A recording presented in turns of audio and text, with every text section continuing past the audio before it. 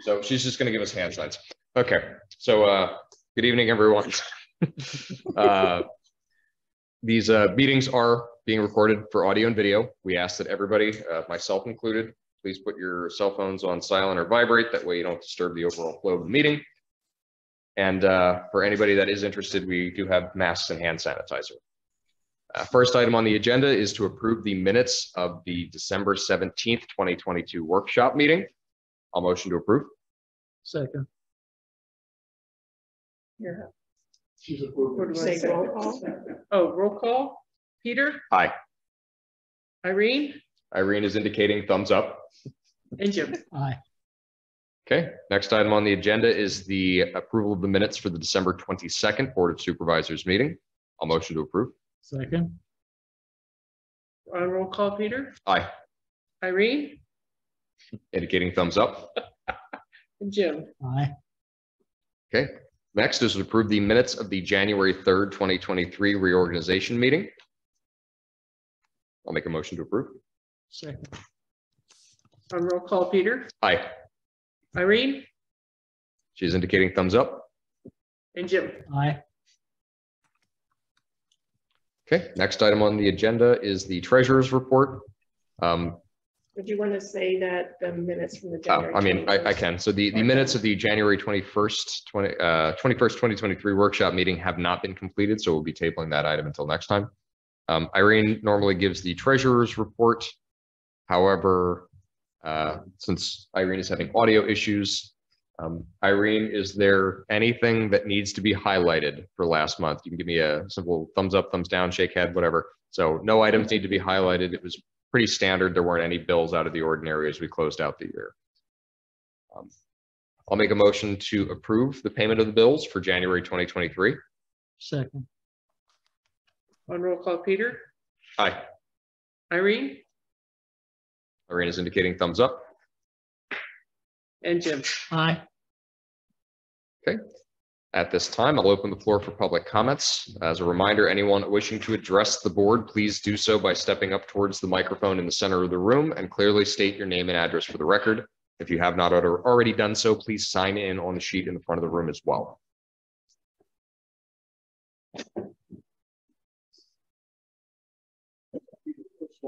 Yes, I'm Jim Donadini and I'm resident of Marion Town. Could you state your address, please, for the record? At one nine eight Sweet Birch Lane in Warmlesville. Um, First, my, my first presence tonight is to, again, for the last time embarrass Peter for the work that he's done for the development of our audio visual system. It's fantastic and I encourage anybody to go and see it. Uh, I hope that that our Zoom system would work better, but I'll, I'll be connecting with Irene and we'll be making sure that there's not some wire cross somewhere, but Okay. Then the other issues are questions for the solicitor's office and, and the engineer that we mentioned on Saturday. We have had communications from Landmark, first that they intended to convey parcels of property from the plots plan to us. Um, and then inside of a week, they actually sent us confirmation that they had conveyed property. And I don't know enough to know that that's good, bad, or indifferent. Um, maybe the solicitor's office would know enough to say, is conveyance generally a one-sided issue? Neither the township nor I, The, the, the declaration and the bylaws control the rights and obligations of the party. So without reviewing those documents, I can't really give you an answer. um, well, it, I will share with you that the parcels that they conveyed, probably two-thirds of what they were conveying were the parcels that adjoin William Penn and probably are inconsequential in that there's few, if any, mechanicals along that parcel of land um, that would be a test for the engineer or, or for the development. Well, actually, if I can, so on January 9th, I had received from the township an email that included a number of uh, exhibits identifying, I assume you're talking about the various parcels that were called Lot 215. That's correct. They were that's ones open space yep. lots. And as a matter of fact, uh, there was one parcel that, um, as described by these exhibits that I noted should probably not be dedicated to the HOA because it is along William Penn Boulevard and appeared to be the right of way um, that was required to be dedicated to the township along that public street. So I'm really interested to hear how Landmark went about dedicating and if they did dedicate all these um, parcels, including that which should be the right of way that should have went to Marion Township. Um, so I had copied the solicitor on that and the supervisors, but I don't know that my comments got back to anyone at Landmark. Um, because this created somewhat, and I guess I need some, some direction from um, the Board of Supervisors. Um, there's a number, it seems like a number of issues that seem to come up related to the homeowners association and the Stonecroft Village development and the developer. And, you know, in representing the township, I, I struggle sometimes with what the township should be taking on with regard to the, um, these matters between the developer and the HOA. Yeah, it, this is like the third engineer now in this process. I, I feel for you in the project, trying to figure what was done and what wasn't done. I will share with you that early on in the plots and plans, it put the, en- the township engineer, at that time was of no concern to you, but now probably is. Um, that, that they would be supervising the project and demanded before anything proceeded any further, that funds be transferred for that very purpose that you would oversight the construction. Well, the engineer would oversight the construction.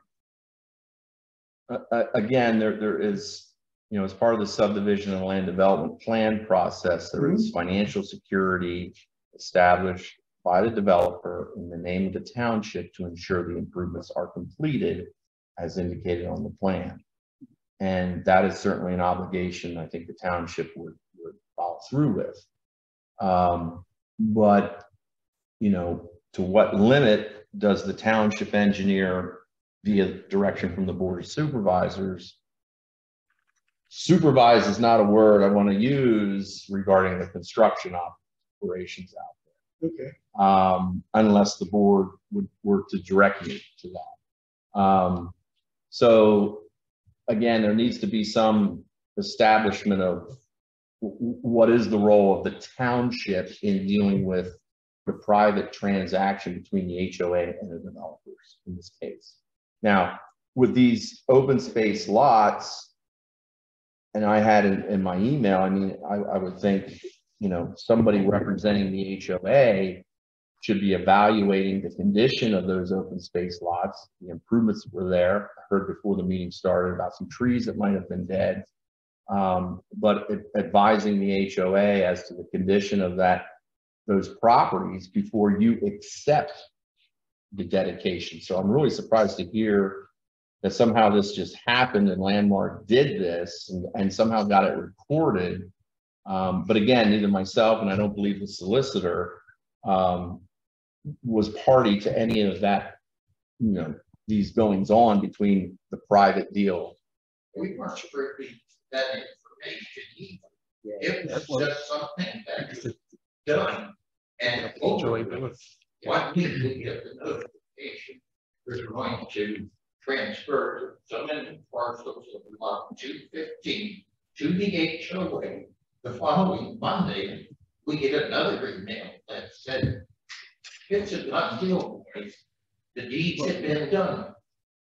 Township wasn't notified, we weren't notified, other than, here it is, and now it's finished. Yeah, when I, Chuck, when I sent that email over to you, I was happened to be talking to Dan at the time, and I was confused because my understanding of the whole subdivision process was there was a process that you had to go through to divide parcel up. Well, the, the parcels weren't subdivided via the original subdivision. Oh, okay, plan. because like when you look at the parcel on like So- the, the GIS maps, it's still one piece. Um, yeah, because I did that too, when you click on any of these open space lot, it Yeah. kind of refers to them all collectively as two fifteen. And that's how they were noted on the subdivision Okay. plan. Okay, so it was all collectively these little pieces, even though they're individual and not contiguous prop, pieces of property. Yeah. They've all been identified as open space two fifteen.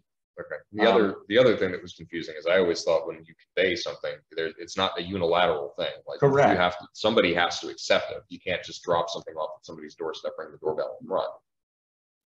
So these are questions that should really be presented to the board of the HOA. Okay. because I'm, I'm relatively confident that the board of the HOA probably acted on that request for Well, dedication. I, I think we have a majority of the board of the HOA here.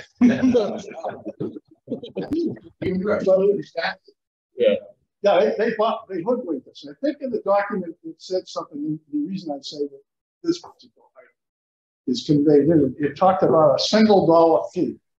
And I think that was for us to consume. And it, it said that they produced the single dollar fee, that we did not. I mean, this, this. puts You thought it was gonna be easy, didn't you? Well, does, does the, does the HOA board have legal representation? And did you have a discussion with him about this process at all? No, we thought we'd bring it to you first to see if, if maybe the conveyance was between the township and, and the developer. You need- you- The. Well, well, so the, the, the HOA is, is a separate and distinct entity from the township, so I can't give the HOA advice, but I would tell you that the dedication is probably done pursuant to the terms in the declaration. So you might want to go read that declaration and, and, um, you know, determine how these types of land dedications are supposed to happen. Okay. And Is, is it common practice for lots to be subdivided? Exclusive of us? the lots were subdivided again when the original plan was recorded. No, a single lot, two fifteen, subdivided. It was subdivided when that subdivision plan was recorded, in essence. It created those separate pieces. Yep. Okay? And the, and they were in the name of the developer at that time, according to the tax map that I looked at. Then, of course, him being the owner, the developer being the owner of those lots, proceeded to offer dedication to the HOA. As I understand it, I don't want to talk legal, usually there is an acceptance that has to happen. Um, because you can't just give property to somebody, I wish somebody would do that, to me, but maybe not. Um, Yeah, it seems like an odd thing to complain about, doesn't it? It's, it's weird to It come here and say, someone gave us a bunch of land. We thought that maybe we could store some of your salt for you for Saturday. We get into an issue about it, but it, that was jesting and I, I There don't, is no survey. Sub A survey that says this piece is only marked out on the drawing of this segment. They haven't gone to and resurveyed them. They, they typically would not resurvey them. The question would be, you know, from the subdivision plan, they were created, they're, they're, they're the gray spots on the subdivision. plan. So again, they were described in the subdivision plan with metes and bounds. Whether or not property corners got set, um, I, I don't know, but they would not need to resurvey them per se, except for the purposes of as-built drawings to, that would typically be provided for the stormwater, perhaps some of the utilities, although the township's not owning any utilities there. Um, to demonstrate that they were built in accordance with the plan. They have had a surveyor out looking at the, sewer. Okay. So those as-built plans are- are typically something that the township would receive and they would be reviewed for conformance with the original plans prior to the release of any financial security um, or the last of the financial security for, for the developer. Well, that, that speaks to a single concern also. As I said, there isn't a lot of, now the piece of property that belongs to you. I can see where that would be a, a different issue for you, um, but I, there isn't a lot of utilities or working parts in those. It it is open space except for the storm sewer um, pipes and swales and what have you. Um, And as a matter of fact, I know that the township received a complaint from other residents about what's called the infield Oh, portion. it Will be provided. Okay, and, and the fact that that was holding water, which per the original plan, it was not intended to hold water. It was to be swale, there was a swale there with positive flow. However, I suspect that there's an NPDS permit that was issued for that project. That's issued by DEP to do the earth moving activities. And those are typically good for five years. If one expires, the developer has to go back and reapply for that permit and meet whatever the current standards are at that time. And it's, it's only my suspicion that perhaps that happened.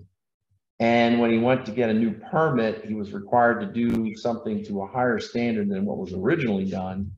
And that meant over excavating the bottom of that infield to hold some water and promote infiltration. But I can't confirm that. And I was waiting for, again, some more direction from the township to simply make a call to the Berks County Conservation District and see if I could piece together why that deviation occurred from the plan. Um, What happened was, that was exactly the case.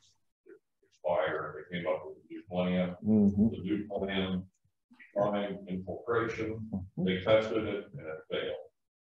So they're now at some sort of a transition Yeah. here where they're, trying to come up with a, a controlled release. This is from landmark engineer. They're trying to come up with some sort of controlled release that will meet the DEP, uh, Berks County Conservation. Yeah, because if- District.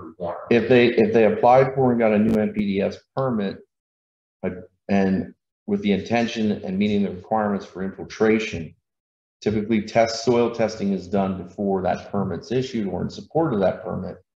Once the permit's issued, the construction happens. If it does not perform as it was intended, now they have to go back and modify that NPDS permit yet again. Um, so Where they are. that's probably where they are. And my concern, of course, is I believe that was one of the lots that we received a legal description for, for dedication. I think not. I- I- You think that one was excluded? Well, when I, There, there was a legal description provided for that lot. The only one that was not provided, I think. Say, I thought it was around the pond. Specifically addressed in this letter. Well, again, and, you know, this is so complicated, and actually, I just had a call today from a, uh, uh, fire, uh, sprinkler suppression company that was directed by Landmark to do some hydrant testing out there for the dry hydrants on the pond. See, I know it just enough to be dangerous. And, and he was looking for parameters for that test, what would be required. That I could not answer right off the top of my head because I got to do a little research and see what was required at the time the plan was approved.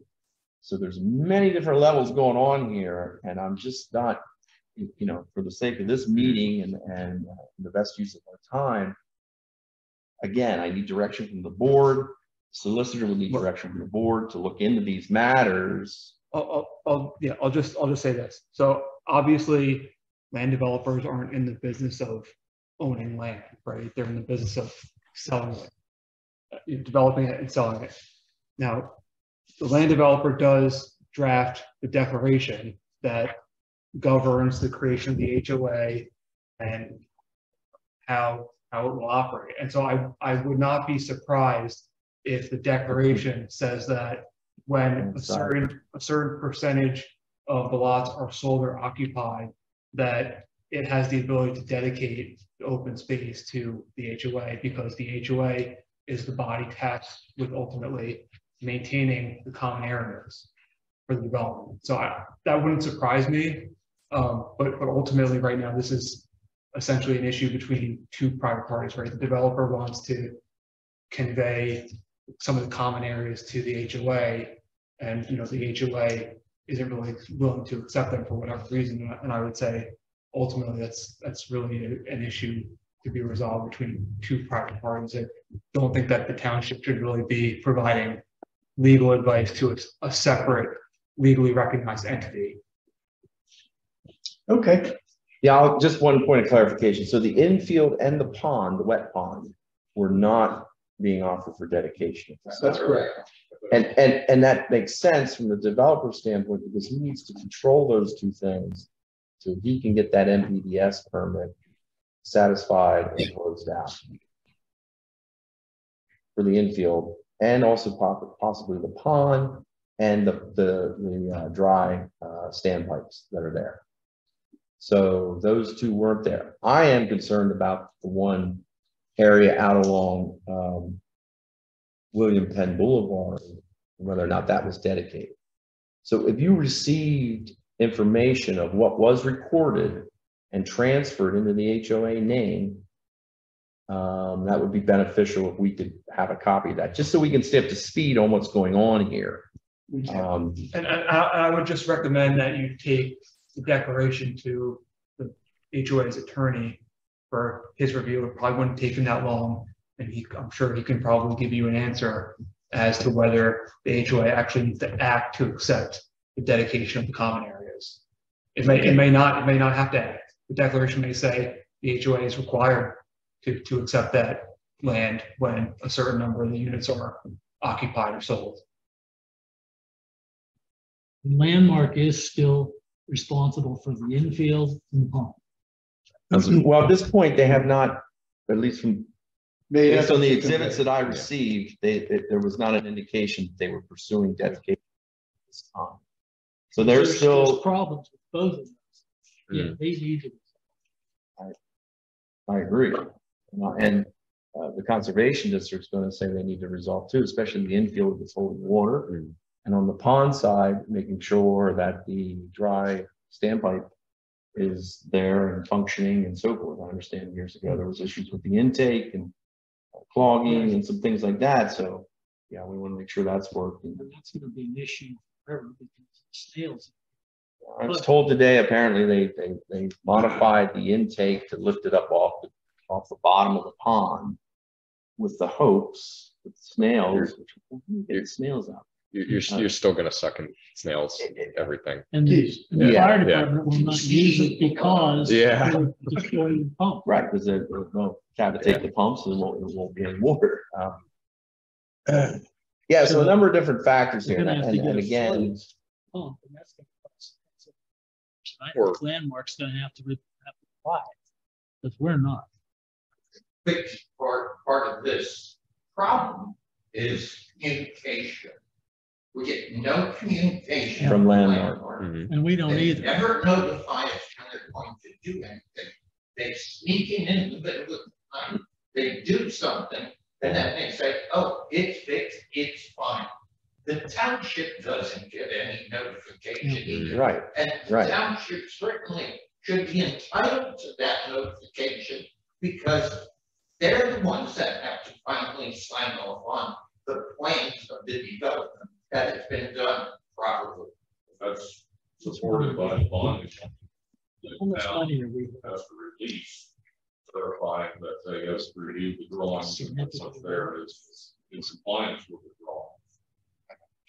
Uh, I think the clubhouse is also listed as part of that, Not done yet. not unfinished area. And you look, this, this was Yeah. about what was and what. Yeah, I I just had clubhouse doesn't mention the discussion, the area is also.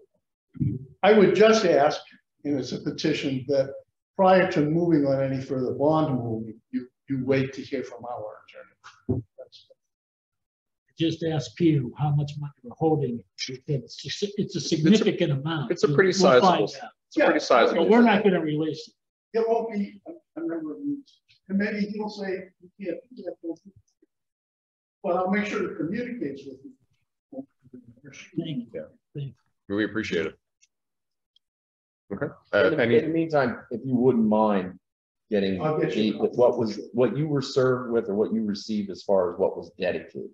And it's very detailed, it, it is, it goes to, I guess, Latin long geopoints. On Each piece, and they did arcs where they couldn't use. Yeah, straight the- There, were it was the exhibits that uh, probably I received, there were, um, you know, metes and bounds description of each one of those individual parcels. that's what you're referring to. But each parcel is a separate drawing. Correct. It is shown as a separate drawing, although this, and they are separate properties, although the subdivision plan referred to them all collectively as lot two fifteen. I'll make sure you have. in the reach. One, one of the bits of trivia is the southeast corner of the property is designated as a tree. And it's not known if that tree's actually there. And landmark was asked, yeah. Survey and verified that where that corner is, that southeast corner. Oh, the property corner for the perimeter of the whole development. Yes, And that's one of the two fifteen lots. Um, so, uh. We'll go through. That's up on the hillside, isn't it? In the back corner, up on the hill? Yeah, that's a kind of a deal. There and then behind it, backward. And, and, and indeed, there could be a big old tree right on that corner. Now, the question would be, typically you wouldn't remove the tree to put a pin there, but you might put pins offset from that so that you could project or somehow determine where the corner was. That was. was requested the landmark along with a full set of as-built drawings. um, yeah. That's been Yeah, and- requested. And, you know, that, in my opinion, should have happened before this dedication happened. But again, not knowing how that process was set up in the bylaws, they may have done what they set up to do. Or that, or one thing to do. I don't remember reading that kind of detail in the file. So Ch- Chuck, when this is all said and done, township should get a set of as-built. That is correct. Okay, Yeah, I would, I would be looking for that before the, the, the last of the financial securities release. Um, and, and that might go as far as also, you know, if there's deviations, because, you know, say a pipe, storm pipe shown to be at two percent, sometimes they end up at one point eight percent, what have you, but um, we would look for anything that was significantly deviant from the original plans, and may even ask for, um, or require uh, the stormwater pond to be, uh, like an as-built analysis of that provided to make Okay. sure that that's, uh, would function as it was originally intended. Which, are, are there any issues out there with drainage in that pond and Well, anything? There's, there's sediment in the pond, which they had told us was going to come out, but they also done a survey of the pond. They told us without showing us the survey that says there's the sediment's only so deep that it's not going to decrease the volume of the water. Um, one of the other requests I would put to the town is make sure you get an electronic copy of those documents. We asked Landmark for that so that in the future, if we had to do something with electronic copy, they flatly refused us.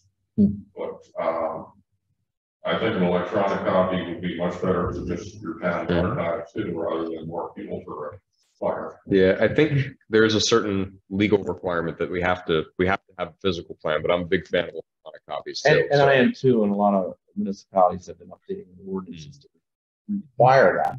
I would have to review the ordinance, uh, for Marion Township to see if that would indeed, digital documents need to be provided in addition to the paper. Yeah. Okay. I'm sure there'll be more to come on that too as time progresses, but thank you, thank you for the comments. Um, any other public comments?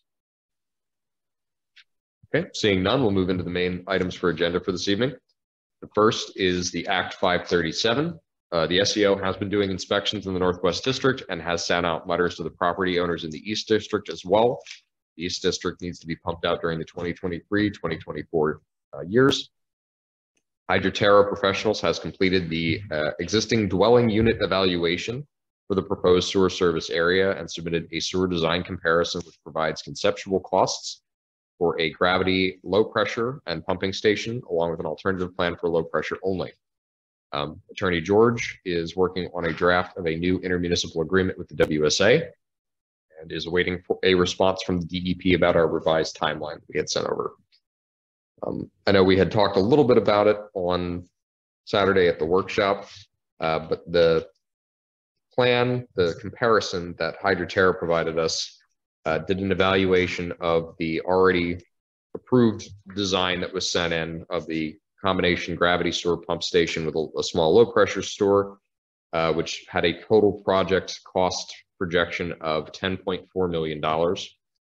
And the alternative system, which was a low pressure store, was uh, six point four million. So it was just around half. Um, there's going to be some additional things that they supply to us that we can continue to look over in terms of um, if there's maybe a, a mix of the two that they had suggested where um, gra- gravity sewer obviously is more expensive from an excavation cost standpoint, but it's generally cheaper maintenance over the course of its life. Uh, whereas low pressure systems are cheaper to install, but require a little more ongoing maintenance. So we'll have more on that, but uh, we have a, a very, very well-written comparison of uh, what's currently on the plan versus what some other options may be for um, how to attack this in a cost uh, effective manner. So, Peter, Kimberly called me this week and she said if the board has any questions, she will welcome them. okay, Feel excellent. free to call her. Okay.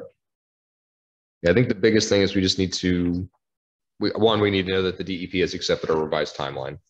Um, and then we need to have the kind of the third option in that they had suggested of keeping the plan largely the same, but moving the pump station. Because they said that would reduce cost, since I, um, pretty significantly, because then that would change the dynamic of what sections were low pressure, what sections were gravity. Uh, but we'll have to start looking at this because it's going to affect what we ask for grants for.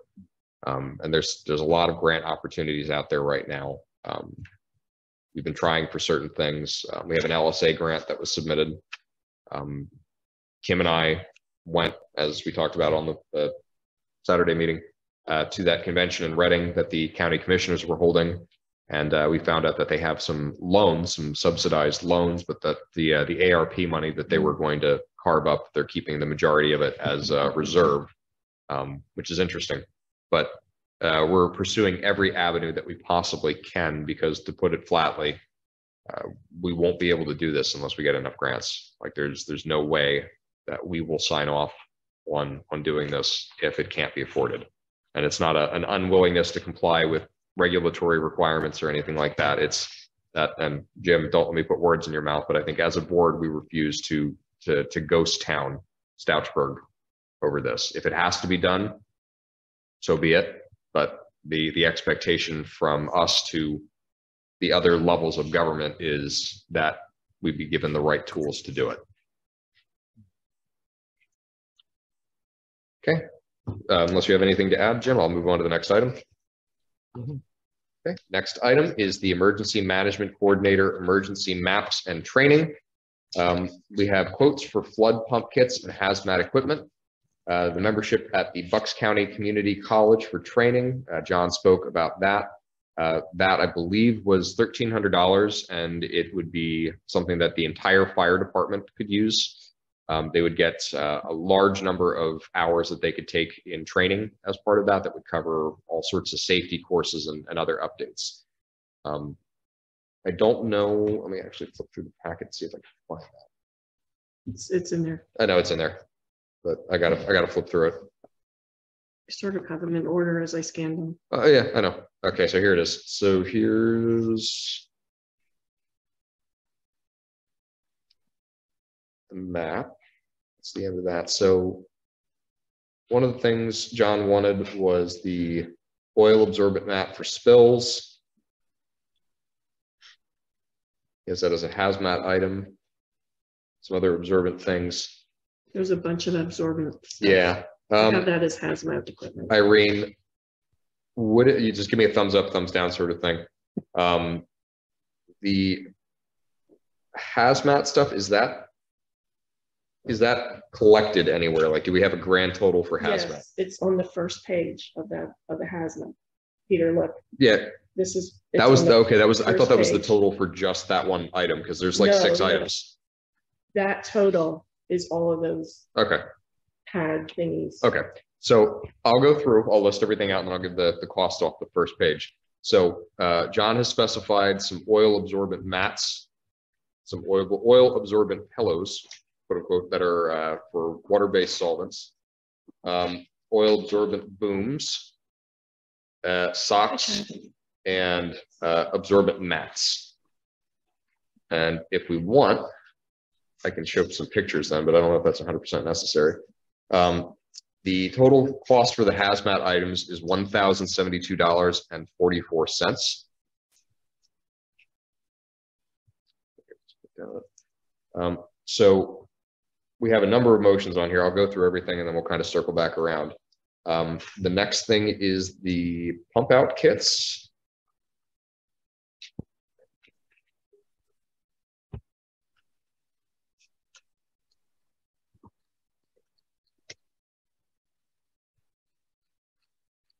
Pump out kits are a total of To see if there's a total list in here. Um, pump out project total for the first one for the electric pump kits is three ninety-nine ninety-three. The light duty gas water pump, five eighty-nine ninety-eight. And the three inch trash pumps. I don't have a total here. It's about twenty-one hundred dollars. It's, it's on this sheet, Yeah, that's what I'm looking at. The bottom one doesn't have a total. and then he got me quotes, two different emblems. Okay. That's all we, that's all I have. okay. So. Let's cover. What I can effectively do. So I'll make a motion to approve the hazmat. Items. For a total of.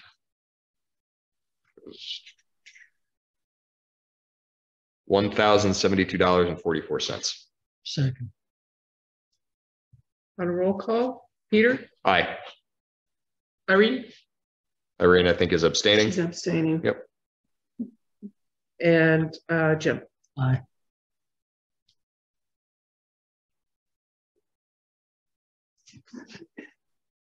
So Sue, the three inch trash pumps, am I, am I just going blind or is that not on there for the total? Because I see, I see the, the, Yeah.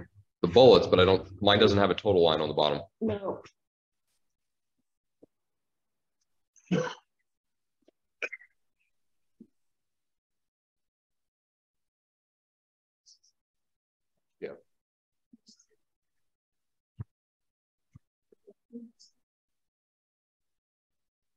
Yeah, yeah, so that's.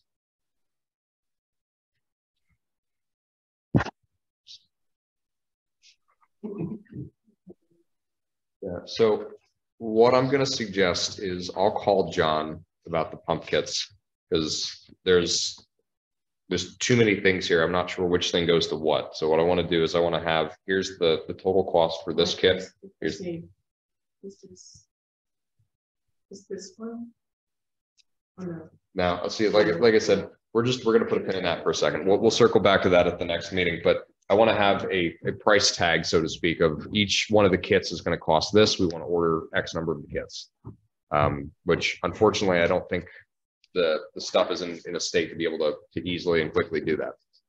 So, uh, next in that is the agenda, or excuse me, not the, the agenda, the membership. Uh, which is that That is this one. Okay.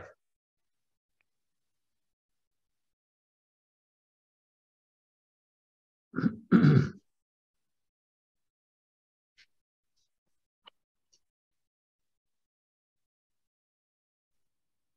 want it? No, no, I'm looking at it. Okay. That's why I want to make sure I'm reading off the right thing. Okay, so this is for the annual membership fee of thirteen hundred dollars per calendar year per organization. um, which includes a maximum or is usable up to a maximum of two hundred hours of on-site or online non-certification training courses. Um, minimum of fifteen candidates, uh, maximum of twenty-four candidates for the hazmat awareness uh, national certification test. Um, I think this is a, a good thing that we can offer the, the fire department. So I would say, let's do it. I'll make a motion to authorize the bronze membership for the Bucks County Community College. second, On a roll call? Peter? Aye. Aye. Irene? She's abstaining. She's abstaining. And Jim? aye, Okay.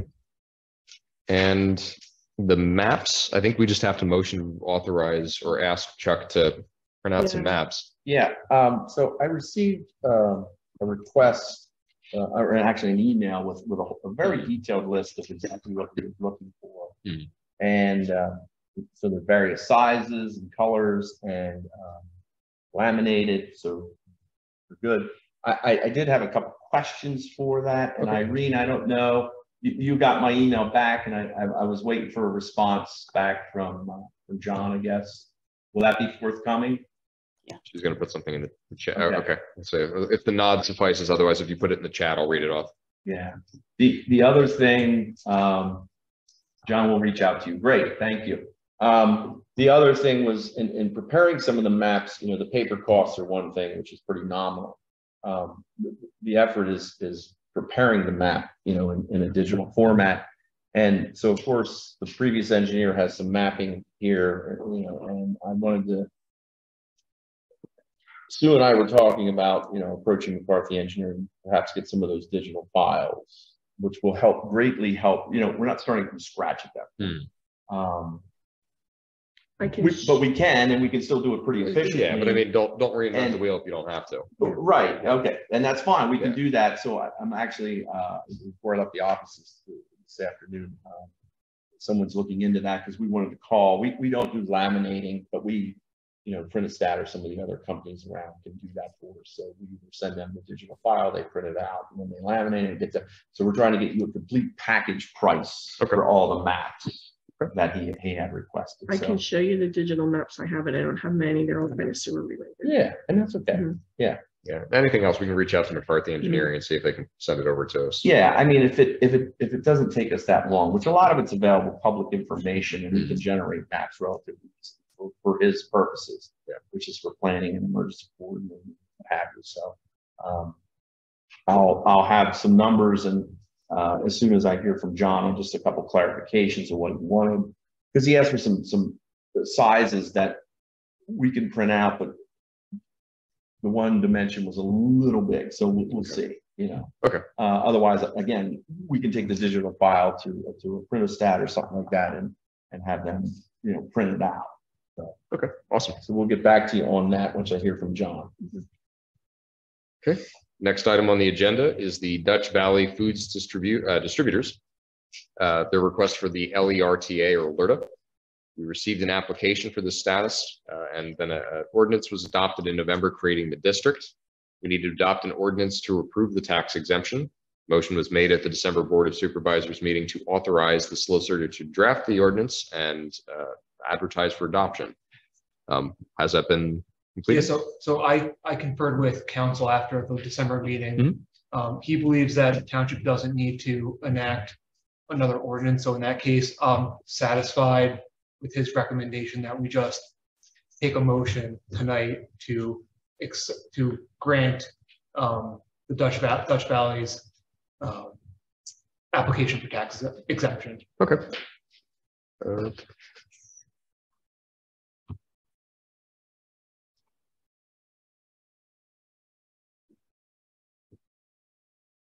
So Irene just, actually, wait, somebody else put something in the chat. So Brandon Sweeney put in the chat, is absolutely necessary for our fire department to have the hazmat items. Every county has type two HMRT teams. There are also type one HMRT teams stationed throughout the state that can respond to those types of events. However, I'm not exactly sure where they all are out of. Just thought analysis wasn't done on the need. Um, so there's, there's a lot of things actually covered in that program, Brandon. Uh, the hazmat stuff is, is a good component of it. And we think having, uh, the first responders that are right on our doorstep have that training is, is going to be beneficial to us. It's certainly worth, worth the thirteen hundred dollars for the year. Um, but, uh, back to the LERTA item. Um, I'll make a motion to approve the Dutch Valley Food Distributors Tax Exemption LERTA request. Second, On a roll call, Peter, Aye. Irene, She's indicating thumbs up. and Jim. aye. Next item is the benches for the skating rink. Uh, Jim, you kind of took the helm on this one. You want to say a few words? Uh, the benches are over there. I picked those up today. And, uh, they're adequate. They're not the, you know, for what they cost, they're very adequate, I guess. But they are here. Okay, good. And for everybody that was curious, Jim managed to, uh, to get a couple of benches at, uh, an auction. Uh, we discussed it at the workshop meeting and he managed to get two metal benches for forty dollars each. Uh, there was a twelve dollar buyer premium, so he got two, or what, like four foot long A benches little over four feet. for ninety-two dollars. So we've, uh, contributed that towards the, the playground stuff so that when people go skating or, or are using the park, that they have some more seating. Um, The other item that Jim was able to pick up at the auction, I think it was at the auction, uh, was a podium, which is over there, uh, for thirty dollars. It's a nice looking podium for thirty bucks. Uh, so I'll be switching that around so that that's in the center of the room for next meeting rather than the table. You need to make a motion for that. Okay, so I'll make a motion to approve the, the purchase of the podium for thirty dollars. Second, Uh, Irene, you gonna second? Okay, Irene seconding. on a roll call, Peter, Aye. Irene, Irene indicates aye. Jim. Aye. Uh, next is the CWPLD on thirty-seven Main Street. This is the self-storage units. Uh, we are still waiting for the property owner to sign the improvements agreement and the stormwater agreement and provide the financial surety letter of credit. Um, Until they do that, we can't really do anything else. We're just in kind of a waiting. So I heard from them, um, yesterday or today. Um, and they're, they're, they're They're still moving doing, along now, okay. yeah. I think the latest was they, they, they had asked about changing a Some- fence to some fence, degree and possibly uh, some of the pavement on that site, which is private, so I wouldn't be too concerned about Yeah. that. Um, so they're obviously, you know, Moving along. doing Yeah. their diligence as they try and move Yeah. ahead. with this thing. Next is the Creekview Dairy Operations at nine five two Route four nineteen. We are still waiting on the property owner to amend their NPDES permit and or revise the plans to address the situation by providing a corrective action plan. This would include, uh, or this could indicate uh, an alternative means for the treatment that might require additional site construction or justify what was constructed will provide similar results. Uh, Engineer Hess may or may not have an update on that. I know you had looked at that previously. Yeah, I had it in, in, in my report, Okay. uh, dated January twenty-sixth. Um, I believe the son, um, Joanne Brubaker, uh, had just sent an email Tuesday, um, with an update it. indicating they're, they're trying to, um, yeah, so they're trying to get, uh, the conservation district to back off a little bit on their corrective action plan. And what that was with regard to they made some deviations from the NPDES permit. And the conservation district, as a result, would not close out the NPDES permit. The other extenuating factor was the permit had expired. Um, so they're trying to work through that and at least from what he indicated, they're waiting to hear back from, from the Berks County Conservation District. And then hopefully with that issue resolved, uh, or direction provided by the county, they'll work towards, um, you know, closing out the project, not only with Berks County, but with, uh, the township, uh, provide the as-built drawings, uh, so their financial security can be released. So steady as she goes. Okay. Next is the culvert projects. Uh, Monarch will revise the schedule to do Marion Drive North as the second item on the list instead of Marion Drive South. Uh, they have the Reichert Road culvert fabricated and are waiting for the green light from us. A pre-construction meeting with BCCD is needed. The road crew has also put down steel plates down at Marion Drive North and placed signs notifying drivers of those steel plates. Marion Drive South by Jake Weiss. We were notified that the BCCD um, would be considering this as eligible for the April 2023 DGLVR grants. Uh, We made a motion at the workshop meeting to authorize our engineer to submit the grant applications again to BCCD. Um, For the first item on the, the first culvert on the agenda, the, the Reichert Road one, um, there's a couple other items on the, the agenda tonight for the cranes and things like that. And we have Ryan and Butch in the audience. So, um, Ryan and Butch, I may be asking questions when we get to that point, but, um, since the the construction for it is, is done and they're just waiting. The only things that we really have to do is we have to rent the track hoe and we have to line up the crane, correct? Okay, so the next item on the agenda is the crane rental. Uh, we received quotes from Dickinson and Sons, uh, crane rental, and I'll actually, share. I'll just share this. So everybody can see it.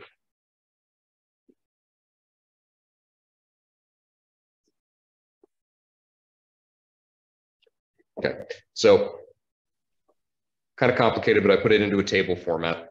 Uh, Dickinson and Sons gave us a crane rental uh, quote for eight hours per day at forty-two hundred dollars, overtime per hour over eight hours of six hundred and forty dollars, trucking and permits round trip of eleven hundred dollars, a lift plan if required, which we're pretty sure is not going to be required. Um, a site visit is required to determine weight, radius, crane accessibility, et cetera. Uh, we have also received a quote from Griner with a daily rate of thirty-two hundred and eighty dollars for eight hours minimum, overtime rate of four hundred and sixty dollars over eight hours, fuel surcharge of five percent. Uh, mobilization is thirty-seven hundred, uh, three thousand seven hundred and fifty dollars, uh, totaling seventy-one ninety-four, um, without the five percent fuel surcharge. Um, we are also, we also got a quote from Digging and Rigging, uh, mobilization in and out. Uh, it was three thousand seven hundred and forty-nine dollars and twenty cents, uh, both ways, with a daily rate of four thousand two hundred and eighty-four dollars and eighty cents for eight hours. So the totals are Dickinson for seven thousand two hundred and twenty, Briner for eight thousand three hundred and forty-seven, and Digging and Rigging for eleven thousand seven hundred and eighty-three dollars and twenty cents. Um, so based on that, I would make a motion that we authorize the rental of the crane from Dickinson. Second, On a roll call, Peter, Aye, Irene, she indicates aye. and Jim. uh, That would make do. Um, it was it's the, ridiculous amount of money. yeah, it's, it's part of, it's, it's part of the, doing the, the project. We knew that going in when we had it costed out, that we have to place, they're all what, like thirty, some of the, most of them are like thirty-six tons or something like that, the pieces. Yeah, the heaviest one was twenty-six. Yeah, so we're, we're talking about moving twenty-six ton pieces of, of concrete around. It's, it's no small thing. Um, And they should be there for the next hundred years. yeah, ho- hopefully we're doing this right. It's not a, not a repeatable thing. We're gonna hold you. All right, I- I'll be here. for it. You, you call me, I'll be here in a hundred years. Uh, next Do you item have on a the schedule yet for when you want to start, right?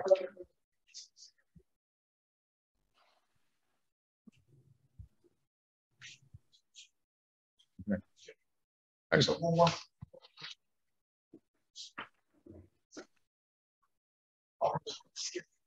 Do you have an anticipated duration for what you're uh planning?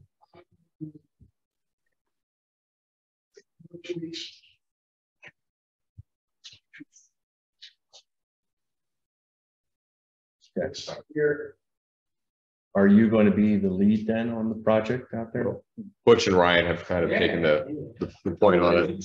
Yeah, Yeah, He's, we've designated him the project manager. yeah. again, there's just pre-notification requirements for the permit, and as long as you have the plans on site and that permit on site, you know, in the truck, as you come and go. Um, but there is a requirement for a pre-construction meeting. with the district. Yeah, yeah, and I, and, and I would, you know, obviously be available to facilitate that. Make sure, you know, we all understand what the conservation district is looking for. you know, Talk about contingencies for weather and so forth. Um, and just be there to help make sure you get it done right, so we can close the permit out when it's, when it's completed. Um, it's an interesting time of the year to, to get started on something like that, but by some token, if the ground were frozen, it might be better too. Um, yeah. And You're gonna play better. Yeah. yeah, there were some time limitations on when the, the work could be completed. And I'll just mention to you, because as we move to the other culverts, um, if there's time limitations like that too, we can ask for relief from, um, from those limitations. Um, and I can reach out. I've had success in the past doing that.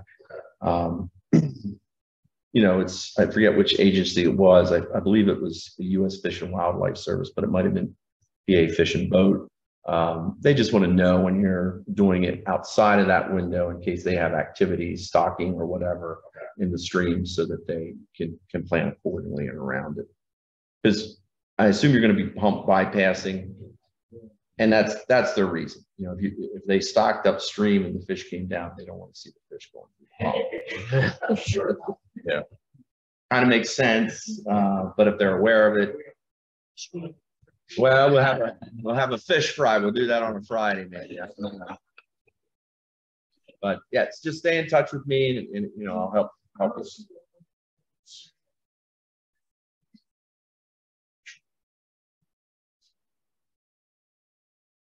For, um, Riker. I I'm think, I think, sure we I do. think we have those. Yeah. I think we have those. I can print out a copy. You want them emailed? Okay, um, yes, Reichert Road, I do have those plans. Um, and I have a copy of that permit too, so if you would like me to email that to you, okay. Will do. Great.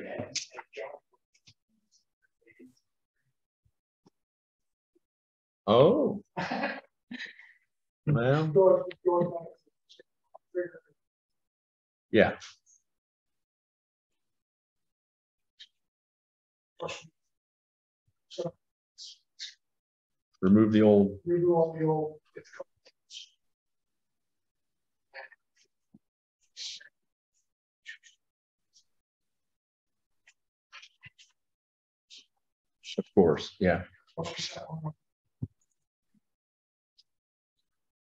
You, you are because unfortunately, the crane rental, you want to do all that in one day. You want to have it delivered one day, offloaded off the truck and set in place in that same day to minimize the crane rental time. That's where I'm at. I'll reach out. to you. Okay.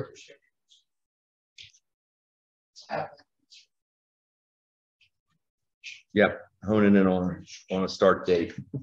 Long range weather forecast, all that stuff. Uh, next is the track hoe rental for the culvert projects. Uh, Ryan suggested we run a track hoe, which will allow us to dig faster than just having the backhoe. Uh, Weco will rent for a minimum of one week for two thousand five hundred dollars with a mobilization fee uh, or seventy-five hundred dollars per month with a mobilization fee. Uh, that was not disclosed what that fee was. Fisher Rental quoted a John Deere for one thousand nine hundred and twenty per week or five thousand seven hundred and sixty for four weeks with a delivery of three hundred and twenty dollars round trip.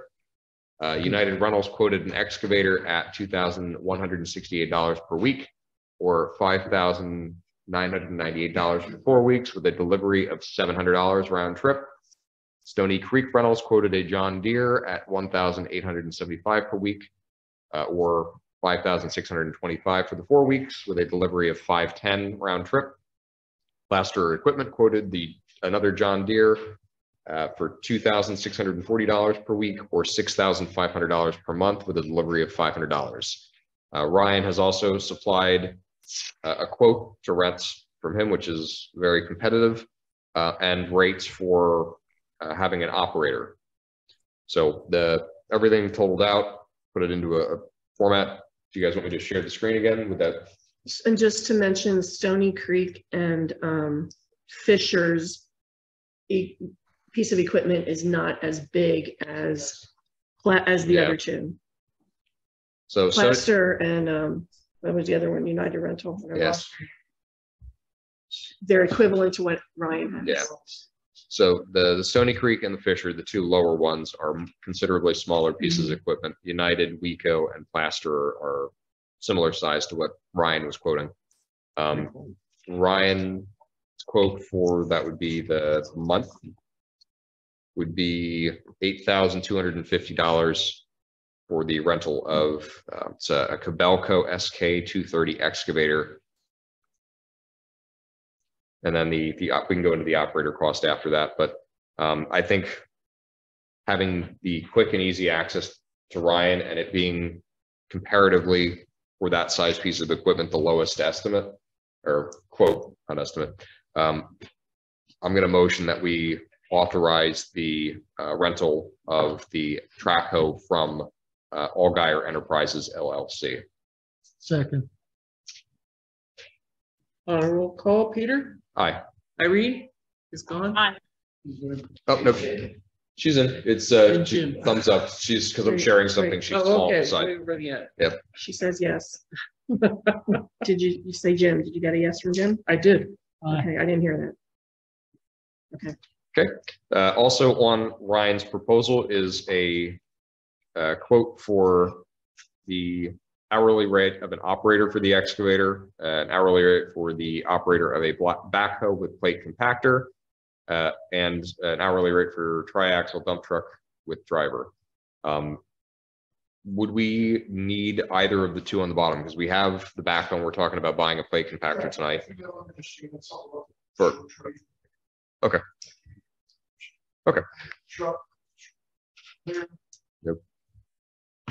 I, I would say unless. It's not a triaxle. do we need a triaxle?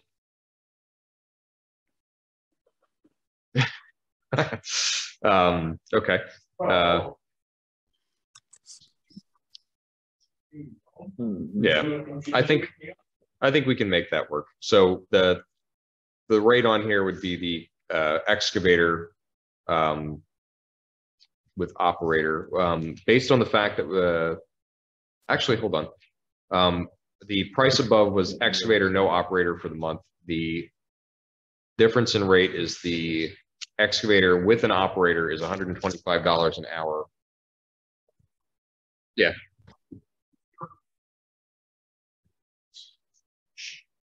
Yeah. Okay. Okay, so chan- chances are you're gonna be considerably less than.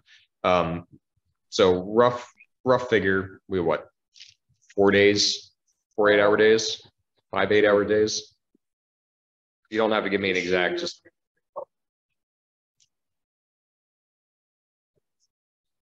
Okay. So that's five thousand, so it's considerably less even beyond what the things were that I had on the screen, so. Um. That is good. Um, Mr. Chairman, just one question. Sure. Um, the, uh, what township funds will be utilized? Will this be general this- funds? General funds. Okay. Yeah, because I know liquid, fuels. liquid fuels has Okay. all sorts of weird things, but Good, good. um, in, in an effort to try to observe some of the usual um, processes of using the liquid fuel, we did get the multiple quotes as a comparison. Yep. Um, but that portion of it will come out of general. Okay. Okay, uh, next item on the agenda is the plate compactor. Um, we got a quote from Plaster Equipment to purchase a used compactor for eight thousand nine hundred dollars. Uh, rental rates generally are two hundred and thirty dollars per day or seven hundred dollars a week or $1,890 per month.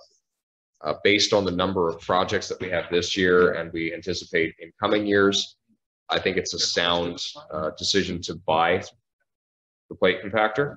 Um, Irene, yeah, do you agree? Thumbs up, thumbs down? Okay, Jim, what are your thoughts? yeah. Okay.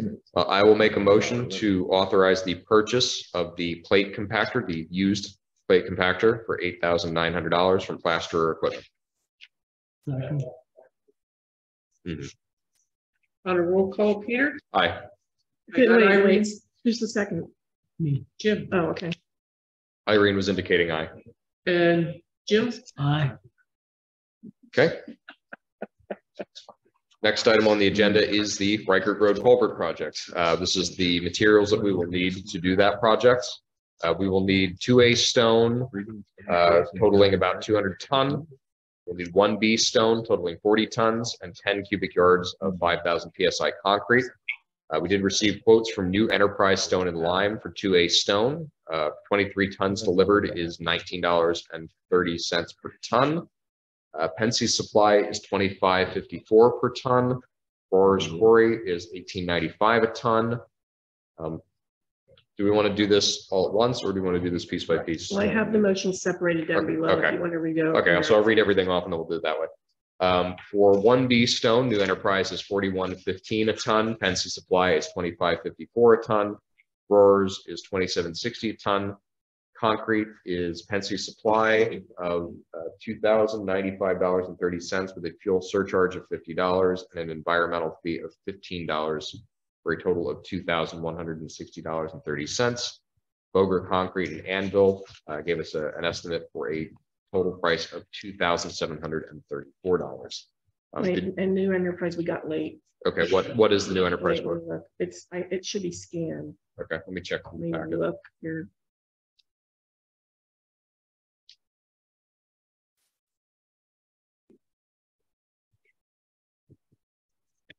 I just gotta find that particular page.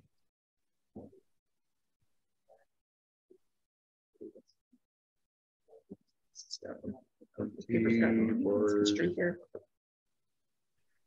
Oh, he, he just did it on the email, didn't he? What is that? One, Uh, it's hundred and eighty-three dollars a yard. Yep, that's it. Yep. Okay, so, We're going to the park. okay, have have a good rest of the night.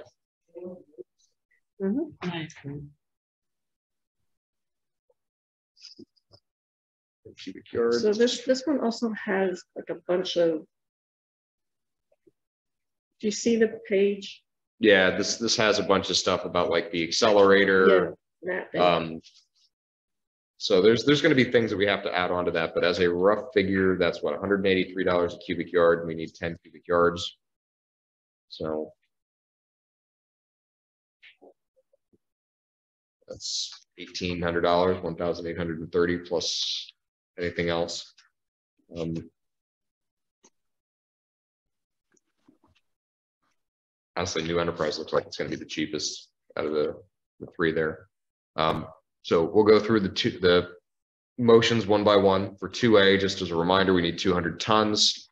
Uh, the quote for New Enterprise, Stone and Lime was twenty-three tons delivered at nineteen thirty a ton. Pennsy Supply was twenty-five fifty-four. And Royers Quarry was eighteen ninety-five a ton. Um, I'll motion to, uh, purchase the two hundred tons from Royers Quarry at eighteen dollars and ninety-five cents per ton. Second, On a roll call, Peter, Aye. Irene, I, Irene indicates aye. and Jim. aye. Motion carried. Next, for the one B stone, New Enterprise gave us a quote of forty-one dollars and fifteen cents per ton, Pennsy Supply of twenty-five dollars and fifty-four cents per ton, and Roars of twenty-seven dollars and sixty cents per ton. Uh, I'll make a motion to purchase the forty ton of one B stone from Pennsy Supply, Second, When I said email, uh, for twenty-five dollars and fifty-four cents per ton. Thank you. Jim, second. yes.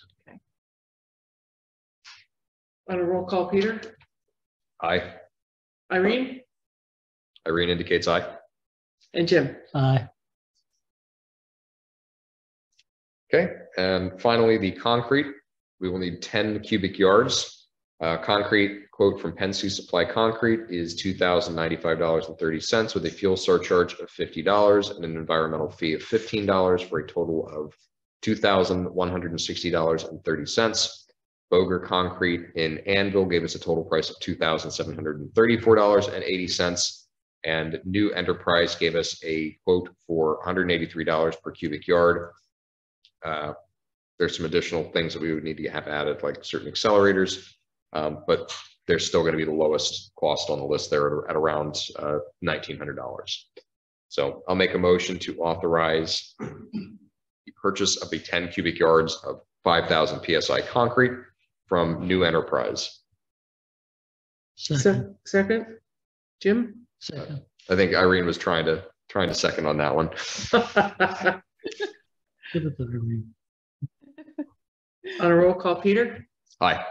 Irene, and Jim. Aye, Okay. Next on the agenda is the extension of the stormwater pipe along Marion Drive to Main Street. Um, engineer Hess met with Butch and I and went through this. Um, I believe, I saw your report in the packet there. It's, seems like it's pretty much exactly in line with what we had talked about. So, Yeah, um, so based on our field observation and actually the, uh, some investigation work done by the prior engineer. There is one pipe, uh, under the alley there that was clogged. And it is heading in the direction where we think we, if it's dead ends or it doesn't go anywhere. Or it's compromised beyond belief, then we would probably have to install a new pipe coming out to Main Street um, to pick up uh, that drainage. So I, I kind of concur with the previous engineer that it, it would make sense to televise and inspect that section of storm pipe. Um, so I had here uh, looking for board action on that. Once we know if that pipe is usable or where it goes or what have you, then um, either we, we augment that pipe with some additional inlets and so forth to help pick up some drainage. And I provided in your packet a, a watershed map um, because you know, the, the, the problem area was, was some of the properties uh, along the east side of Marion Drive. And the lack of any conveyance along Marion Drive, collection and conveyance, inlets and piping there. Um, there is, as we saw out there, an inlet out on Main Street at the corner that we could connect into. So if we do install a storm system there, I think um, the total area kind of draining there is surprisingly enough, you know, 4.8 acres. If we put in a system along Marion Drive with or without that existing pipe, we can substantially reduce that drainage area going to those backyards by just over 4.2 acres. So a significant improvement. Um, and, and putting that water into, into a storm pipe, which continues down Main Street. And Butch and I, uh, he pointed out to me where it's going, the outfall from that storm sewer pipe, because then that's my other concern. Even though this water ultimately gets there anyhow, some way, shape or form.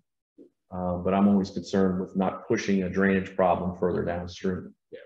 So Butch tells me that's one outfall that he does check on an annual basis and, uh, uh, the condition of it is, it's been holding up and it's not causing a problem downstream. So again, not to just throw money at this, I think it, it warrants investigating that existing pipe. Because if that came back online and depending where it goes, you know, that, that could also divert a lot of this water to roughly the same magnitude. Um, if that pipe is functioning and connected somewhere, but we just don't know. Um, I'm hopeful it connects to something. I kind of, I, I just, I don't, I don't understand why that would have been, yeah, because we don't see it out on Main Street, right? And there's nothing else along Marion Drive. I So don't- where is it going? I don't know where- anywhere else that it could possibly connect. Exactly. So, Exactly. um, And, and that is the side of the road, by the way, that has, um, the gas main. So if that pipe is in there and if it's in good shape, we would let it in there, maybe add another inlet or two just to improve the efficiency of picking up the drainage from Marion Drive. Um, and avoid a lot of excavation in close proximity to that gas main. Okay. So, you know, I, I think right now, just authorizing the township staff or Butch to, to get some uh, quotes from some local uh, inspection and cleaning companies. Um, Mr. Mr. Clog comes to mind, or Captain Clog comes to mind, and Mr. Rehab, there's a number of companies out there that can um, televise and clean that pipe out. Okay. uh, To see if it's uh, worth salvaging and, and you continuing to utilize. Okay. Um, I don't know that we formally need a motion to have Butch get quotes, but I'll make one anyway. I'll motion to authorize the roadmaster to get quotes for scoping or televising uh, the pipe, the storm sewer pipe, um, on Marion Drive near Main Street and four twenty-two. And then to get us quotes for, uh, cleaning it out if it is obstructed.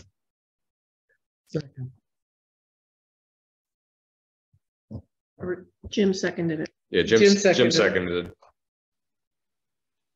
it. And Irene, Well, uh, well, No, she's, Peter? she's okay with it. We gotta do roll call, so. Roll call, I'll- I'll- Peter. Aye. Irene and Jim. Aye. Okay. Motion carried.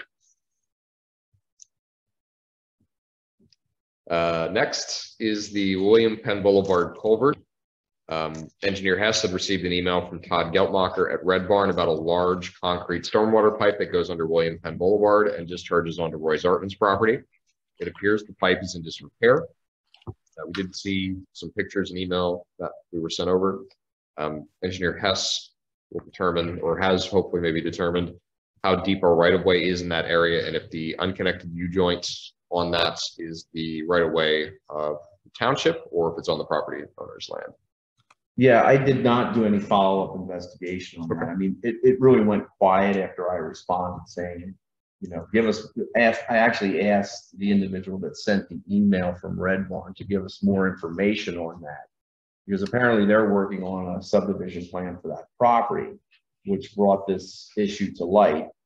Um, because certainly if it's outside of the right of way, then I, I, in my opinion, the, the township has no obligation to um, repair. Now they may decide to, you know, participate in the repair or make a repair. I don't know, but if, if that property owner is doing some development work there, um, and it's on his property, then I think it's his obligation to address it. So again, it went totally quiet after I responded, uh, asking for additional, uh, information. So in my opinion, unless you want to keep it on here as a reminder, it could probably come off your agenda until we off. hear something further. Um, Irene asked in the chat, uh, who pays the bill for the inquiry? Um, we had mentioned this at the workshop, so when somebody asks about that, Well, it's like, it's like any other drainage complaint or problem, something that comes in. Um, you know, I don't spend a lot of time on it, but you know, time is time, so. Um, I tip, I have been putting that under a specific job number for the township related to general stormwater issues. Okay. So that's how I've been doing that. Um, as a matter of fact, I'm gonna bring that up, um, for consideration on, on another matter. How do we track some of these things and control costs and yeah. Okay. we'll see if Irene says anything back, but, um, I, uh, I, I personally think the, the opening gambit of something like that is just, that's within our auspices of somebody asks a question, we have to validate. Correct. You know, there has to be some that's Mhm. limited investigation, you Yeah. know? Um, unless it's something very severe or something that's creating hazard, what have you. I mean, I'll jump the farm, come right out, but, um, from what I looked at, based on that, that email inquiry about this, it's pretty easy to say, hey, well, where's this exactly at? And by the way, if it's outside of the right of way, we think it's yours. Yeah. And then here, Okay. Okay, so, so you're taking that off of the agenda for future, okay. Okay, next is the Comcast franchise renewal. Uh, Cohen Law Group will be scheduling a thirty-minute call with Irene in the near future. Um, I'll keep an eye on the chat to see if you say anything, otherwise I'll take your nodding head as acknowledgement. Uh, she'll be in the office next week, okay. Okay, uh, next is the Western Berks Joint Zoning Ordinance, Section four oh three amendment. This is about the keeping of pets and small domesticated farm animals. Um, we have not been notified when the Western Berks Joint Zoning Planning Commission meeting will be scheduled for, but keep an eye peeled for that, and then hopefully that'll be on the agenda. Uh, next is the building and property renovations. Uh, we had a specialty contractor out, the Whitmer Group from Mount Joy, on January seventeenth to evaluate the brick wall above the garage that is going out. Uh, we have received a report and it's, uh, fairly substantial. Um, the overall quote was around sixty-eight thousand dollars, I believe. Mhm. And, uh, at the engineer's recommendation, we should really put about thirty-five percent more into that quote based on just, Well, and I just had an update from the solicitor Okay. that, um, I think he would support that this project would not be subject to prevailing wage rates. okay, so that's good, the- The costs in the proposal from the Whitmer would, would be. would stand. Would stand. Okay. Um, and so I met out here with him to show him the issue. Um, there's certainly, it needs some attention. Okay. Um, And not knowing the township's plans for this building, I asked him to look at it in two approaches. You know, one was uh, doing some work to stabilize it, tie the wall, the brick wall back into the structure with some specialty anchors, um, and do some limited, uh, you know, repointing uh, of the brick and so forth. And then, again, to have a contingency,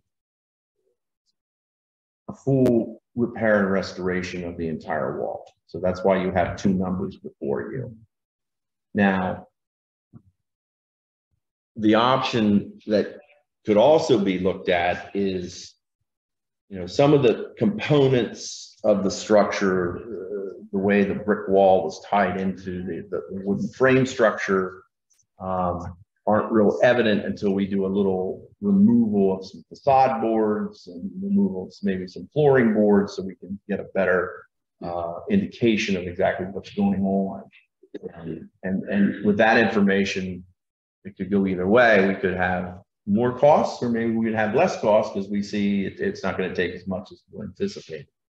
Um, so one other option other than the, the you know accepting the, the two quotes that were given would be to um, engage the Whitmer group to come out and remove some of that, do a little more exploratory work. Uh, I did not ask him for a cost for that, but you know we could we could set some threshold that you'd be comfortable with, but of course with the advertising requirements for having that on the agenda in advance, I don't know that we could do that here tonight. Yeah, I mean, we'd have to amend the agenda, which Correct. is functionally doable. I'm sorry, so. Um, um, just for statement, the, the quoted cost in there for the temporary bracing also included the prevailing wage amount, which if you adjust off the thirty-five percent, it's about twenty-two thousand. So the, the Band-Aid is twenty-two grand. Uh, the Band-Aids as it was in the proposal at twenty-four, nine seventy-eight. 24.9. Thank you. Um, and, and, you know, that that would cover you if you were inclined to do that now. You know, because part of the work, they would, they even indicated, you know, they would remove some of that wood trim around the doors and stuff, and we would look at that. So that would, that would more quickly get something done to stabilize that wall, because I don't think it's an imminent mode of failure. You never know. So the, the one thing that I will say is, I know we want to move on looking at a new building, and this, this is just a further motivating factor. Um, we have to be cognizant of if it's gonna fall down and knowing that it's gonna take us time to get property, break ground, permitting, all that fun stuff, actually construct before we can do anything else. Um, the other thing that immediately jumps into mind is that was called out on our, our insurance. The guy Correct. pointed that out. So I don't know that we're going to be able to necessarily kick this along for a long enough amount of time to be able to, to, I'll, I'll put it bluntly, cut bait and run on it. Um, because we're going to have to do something with it, whether it starts to degrade or we're, we're at risk of the insurance dropping us. So at this point, I'm not a big fan of spending money on that. I think it's good money after bad, but I think we're at bare minimum gonna have to, to band, do the, the Band-Aid route. Jim, I know, I can, I can see I you hate chewing on to- your, I hate to spend any money on this building. Duct tape it and. yeah, un- You know, unfortunately, the duct tape is the twenty four thousand dollars. The, the, the issue becomes a, a couple fold. How quickly are you're gonna move on a new building and what's the ultimate decision for this building? If there's value in this building and you would think about selling this building and the property, then it would make sense to stabilize it, put the repair. I tend to agree with you too. I wouldn't want to put the money in if the ultimate decision is to perhaps demolish this building and maybe reuse the property. Yeah, So- I'm, I'm still personally of the opinion we should try to find, I know land is difficult, but try to find something, anything. We talked to Richard Hassler about his property next door, or we can find some other bit.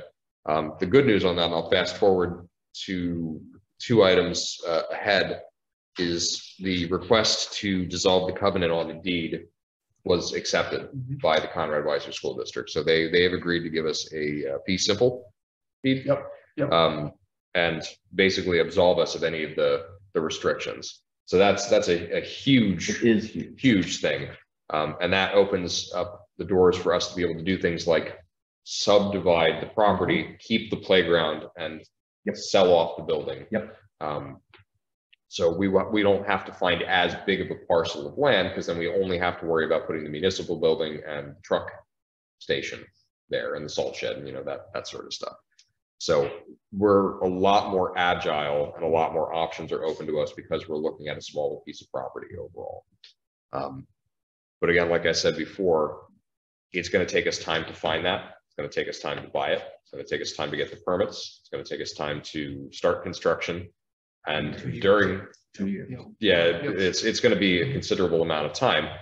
And during that time, we still have the, we still have the responsibility of keeping the municipal services available. We have to have the office open and available. We have to have meetings. Um, and I don't know that we really have a space unless we're gonna try and rent something somewhere or, or put up a, a trailer as a temporary thing, which again has cost associated with that. Um, we're not gonna be able to check all the boxes that we need to. As, as much as it pains me to say that. The other thing too, I think it's good timing, good work on your part, that the school district's willing to unencumber this property. Because now you have perhaps the value in this building. Um, that could be, you know, sold and the proceeds used for the new building. But obviously you need to have a wall on one end of the building to have that do that.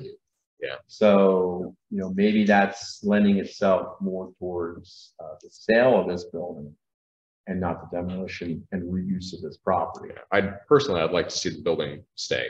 It's a, while it's not a think so, too. historical, like registered landmark necessarily, it has a lot of significance in the community because it's been uh, a landmark for eons. Um, so I think our best course of action, and I know Jim, you're, you're making faces over there. You don't want to spend, don't want to spend the money. Huh? Irene has. I- commented. Irene, Um, You know, I'm, I don't see the significance to this bill. No. Yes, I didn't go to school here. I don't know why anybody would be attached to a place that was built in eighteen seventy-seven. The back end and the front end of this building in nineteen thirty-one. I don't understand why anybody is attached to this building. Look in the corner. I mean, it's falling down. This end's gonna fall down next. If anybody wants to buy this building, let them buy it the way it is now. If we have to rent a place, we talked about building a garage across here. Take the twenty-two thousand and put it into that garage. That's a thought. I mean, it's, I So- don't see putting money into this building. So I- I honestly think we ought to tear it down, and this is where the new building should go. Because you're not gonna get another piece of property. I think we might get run out of town with torches and pitchforks. Well, I guess I'll get, I, I can tell you, I Maybe went to run out of school here, I'm sentimentally attached to this building, but yet from working here, this is the most inefficient building ever. Our yes, last bill, gas bill was Mm-hmm. nine hundred and eighteen dollars. You're- And we don't even have the temp, the thermostats. Yeah, wait till so- you get this month. I, I know, I'm saying Yeah. this for. Uh, the yeah, I'd public, say this is I'm for not public saying this record, for you, to say, I'm 'cause, saying like, this for you're- the public. You're preaching to the converted, so. How much money do we have to put into this to, to even just renovate it, to, to make it habitable? Well, uh, not, not even renovating, but just, just to remediate any of the out- outstanding problems, the windows, the brick pointing, the fact that we don't have any heat upstairs. I mean, all there's- of those- There's more tiles falling down up there. Well, I don't see anybody buying this building. I don't. I honestly think we'd have to give it. We won't, That's how bad. it we won't know until we try. Um, but I think our, our, our best next step, and I'll, I'll defer to Chuck for a second for his, his point of. View. Take the equipment out of the building, put tape across it, put police tape across it and hope that it doesn't fall down. So And if it does fall down, Chuck, you're obviously not the insurance guy, but with, I, generally with that sort of thing, do you think we'd have enough time that we could tread water for a month while we look into a temporary space? 'Cause Jim's, Jim's point is valid. If, rather than spending twenty-two thousand on remediating the wall, we could potentially put up a temporary office somewhere else. And then Irene suggested, other it- hand, The insurance company didn't give us a timeline. I know, I, I don't wanna, I don't wanna Well, here's push the that issue. too much. Put on notice by the insurance. Yeah. company. So if something does happen, would that give them any means of Stepping saying you didn't address it, you were, you were noted, you, you Mm-hmm. were put on notice, we're not gonna cover any claim. So I was just looking through here and thinking, you know, I think the approach, and this is, this is a pretty intensive work here, but they did have in some repointing, um, you know, the exterior, even as part of, um, that temporary, uh, racing. Um, and maybe that's, uh, something we could save some money on if we didn't do. We put the structural tiebacks back in, uh, which would stabilize the wall. The repointing really is gonna help keep, um, further moisture penetration and what have you from attacking and deteriorating the wall, especially on that northwest side, because that's where our prevailing winds are coming from. So while I can't say exactly how much removing that pointing, repointing work would be for a pretty small area, um, but that's pretty labor intensive because they have to, you know, remove any soft weak mortar that's in there and repoint it. Um, I guess I'm, I'm trying to see, is there some Can, can we do level something without of- doing the whole thing? of cost that you would be comfortable with. And then I could go back to the contractor and say, uh, because, you know, when we looked at this, we were gonna put, um, the tiebacks in at two different levels. I think the worst part of it is, is really down towards just above the garage doors. Um, You Could we- take that we- brick off, you're gonna find there's no. Yeah. support there. Yeah, I, Keep in mind bidding threshold, I think Upstairs is is wrong. twenty-two five. Guaranteed that the Oh, downside. I, oh, I know firsthand how rotted that is up Yeah, there, the you went wood, through it. the You wood, almost went through. it. but To, to Sue's point, project would not. meet the Vision of the second class township code that says repairs to public facilities are not, are not part.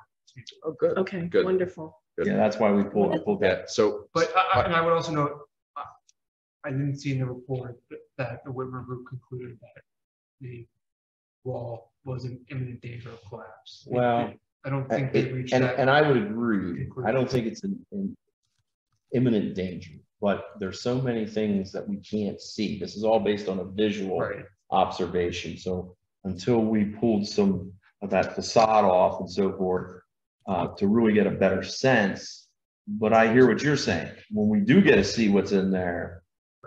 Just gonna open. Yeah, It could be can- worse. You're Um, gonna open a can of worms at the whole package. yeah, Yeah, if, Yeah. if I've learned anything in the brief time of being a homeowner is the second you start any project, you're gonna find six things at every step that you didn't know about that need to be done too. It's, it's come to, push has now come to shove. Shove. We either have to make a decision to find another piece of property or tear this building down and build it. I think we need to aggressively look at other, other pieces of property and Irene put in, Irene put in the chat that this exact situation more or less has happened to other townships and accommodations can be made at other locations. We could look at having meetings at the, the school potentially, or uh, Brandon Sweeney suggested in the chat of talking to the fire company to see if we could use the, the hall over there.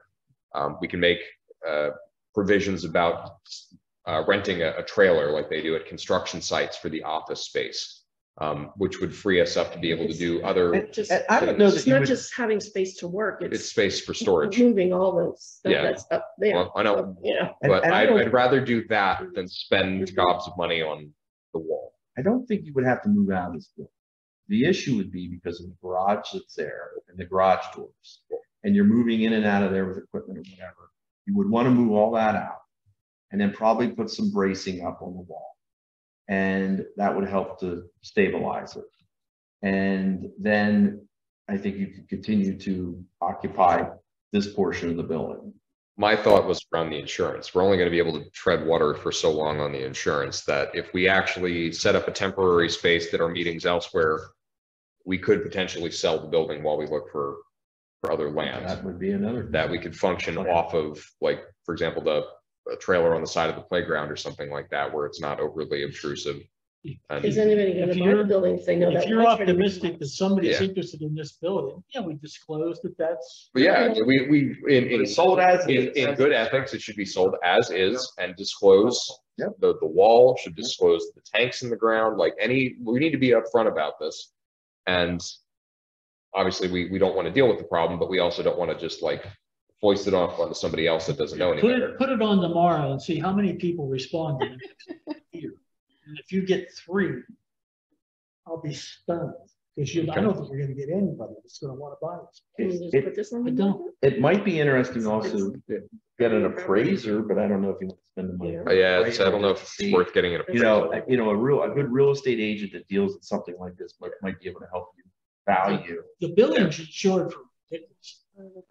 Oh, maybe we can do things good. I mean, it's, it's ridiculous. I think it's, it's insured for one point seven million dollars. Yeah. It's either, it's something like that. Yeah. Which,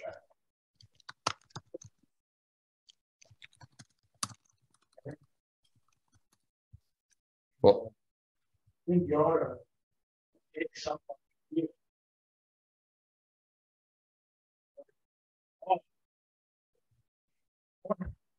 So we can, we can get a quote. It's very easy to get a quote, but there's, there's two halves to this.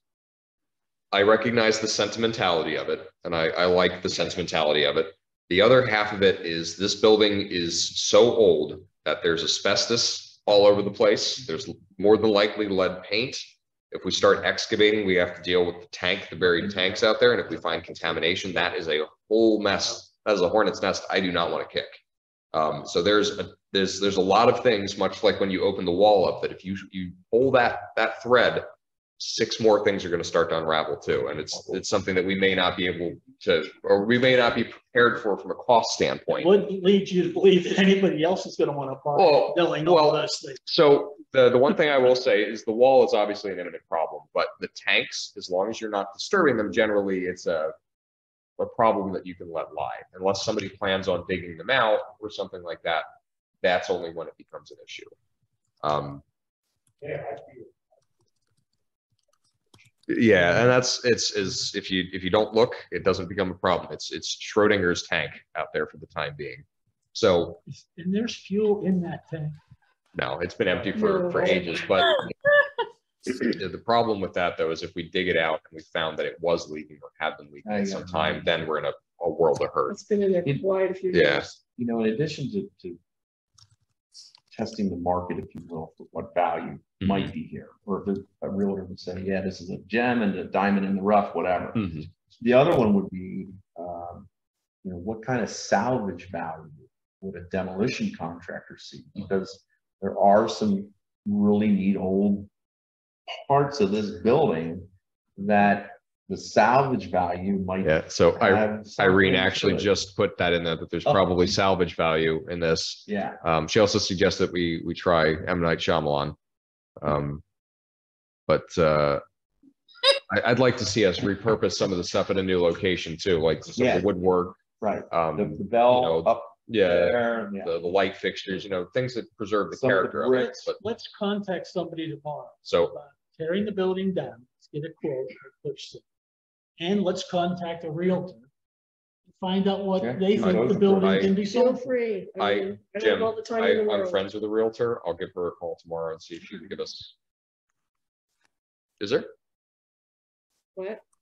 Tim Himmelberger? He doesn't live in Marion Township. Yeah, he used to. I don't know that I contacted him. but- Yeah, like I said, I, Personal opinion. I- I'm friends with somebody who's a Realtor, so if, if nothing else, she can come out and give us a, an honest opinion Yeah. of it. Just Um, get an You know, this- what it's worth. And I think you're right, you know, within this limited area, you might not have a lot of interest, but if it were marketed to a broader area, Yeah, you know, if somebody that had the wherewithal and really, you know, was interested in a historic building and turning it into something and had the wherewithal, It is an might. I mean, it's- Uh, it's- over hundred years old, it's it's- some history. it's old. It's just not on a historical re- like register, Correct. so, And that's fortunate, that's Yeah, good. yeah, yeah. You don't So- want to be encumbered by that. yeah, so I, I think personally, my, my stance on this is let's get a quote. No, there's no harm in getting a quote for what it would cost to demolish.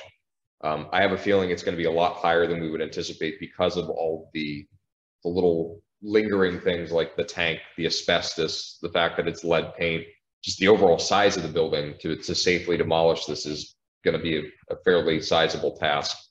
Um, that we're, we're gonna have some, some costs there that we may not be anticipating. And then on the flip side of that, talk to a real estate agent Yeah. and they may say you're not gonna get anything for it, or they may say, hey, if you have it on the market for a while, the market's hot, you may be able to get whatever amount for it. So really, we need, we need the information to move forward, but I think we've talked about it before, we've kicked it around, we've batted this here and there. We're at a turning point. You said put yourself, push comes to shove. Um, so I think we need to, to have those conversations with the outside parties, and then we also need to start aggressively looking at the grant opportunities that we had talked about before for it being a community center, for it being an evacuation space, for it, um, you know, X, Y, and Z, going after every possible grant opportunity that we can. Uh, because when we looked at it, we figured if we, if we got majority of them, it would be about seventy-five percent covered. And we have that two hundred thousand from the ARP, pretty much pays for the building. So, um, I'll, like I said, I'll, I'll call the person that I know that's a real estate agent, see if I can't get her to come out and, and give me the, the, the lowdown on what her thoughts are. And then I don't even know where to, to start other than just Googling like demolition company and having people come out and give me a quote. Um, You know, so I think, I think you could go another month. okay. Um, but I would advise, keep an eye on it. Mhm. And certainly whenever I'm here, I'll take a look. And it, it might be good to go upstairs where there have been some cracks developing and put, s- mark some areas, Mhm. take some measurements. And monitor that crack to make sure it doesn't grow. Okay. I think that's prudent. Because, you know, just keep an eye on it at least, you know, once a week or something, or heavy rain event, whatever, winds, that type of thing, just keep an eye on it. And, you know, one other option would be, you know, this was the Whitmer, and they're Mhm. very reputable.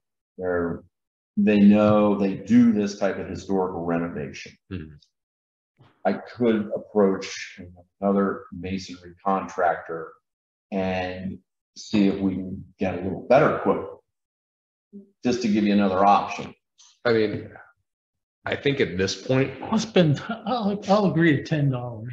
I was gonna say, at this point, I don't know if there's gonna be a dollar figure that is gonna tip the scales more towards, um, I think Irene just wandered not- off. It's just Um, not worth it. No, Brandon Sweeney. has a Oh, comment. okay, there's a good fourteen to sixteen hundred square foot where the tennis courts are, pop a metal pole building on it.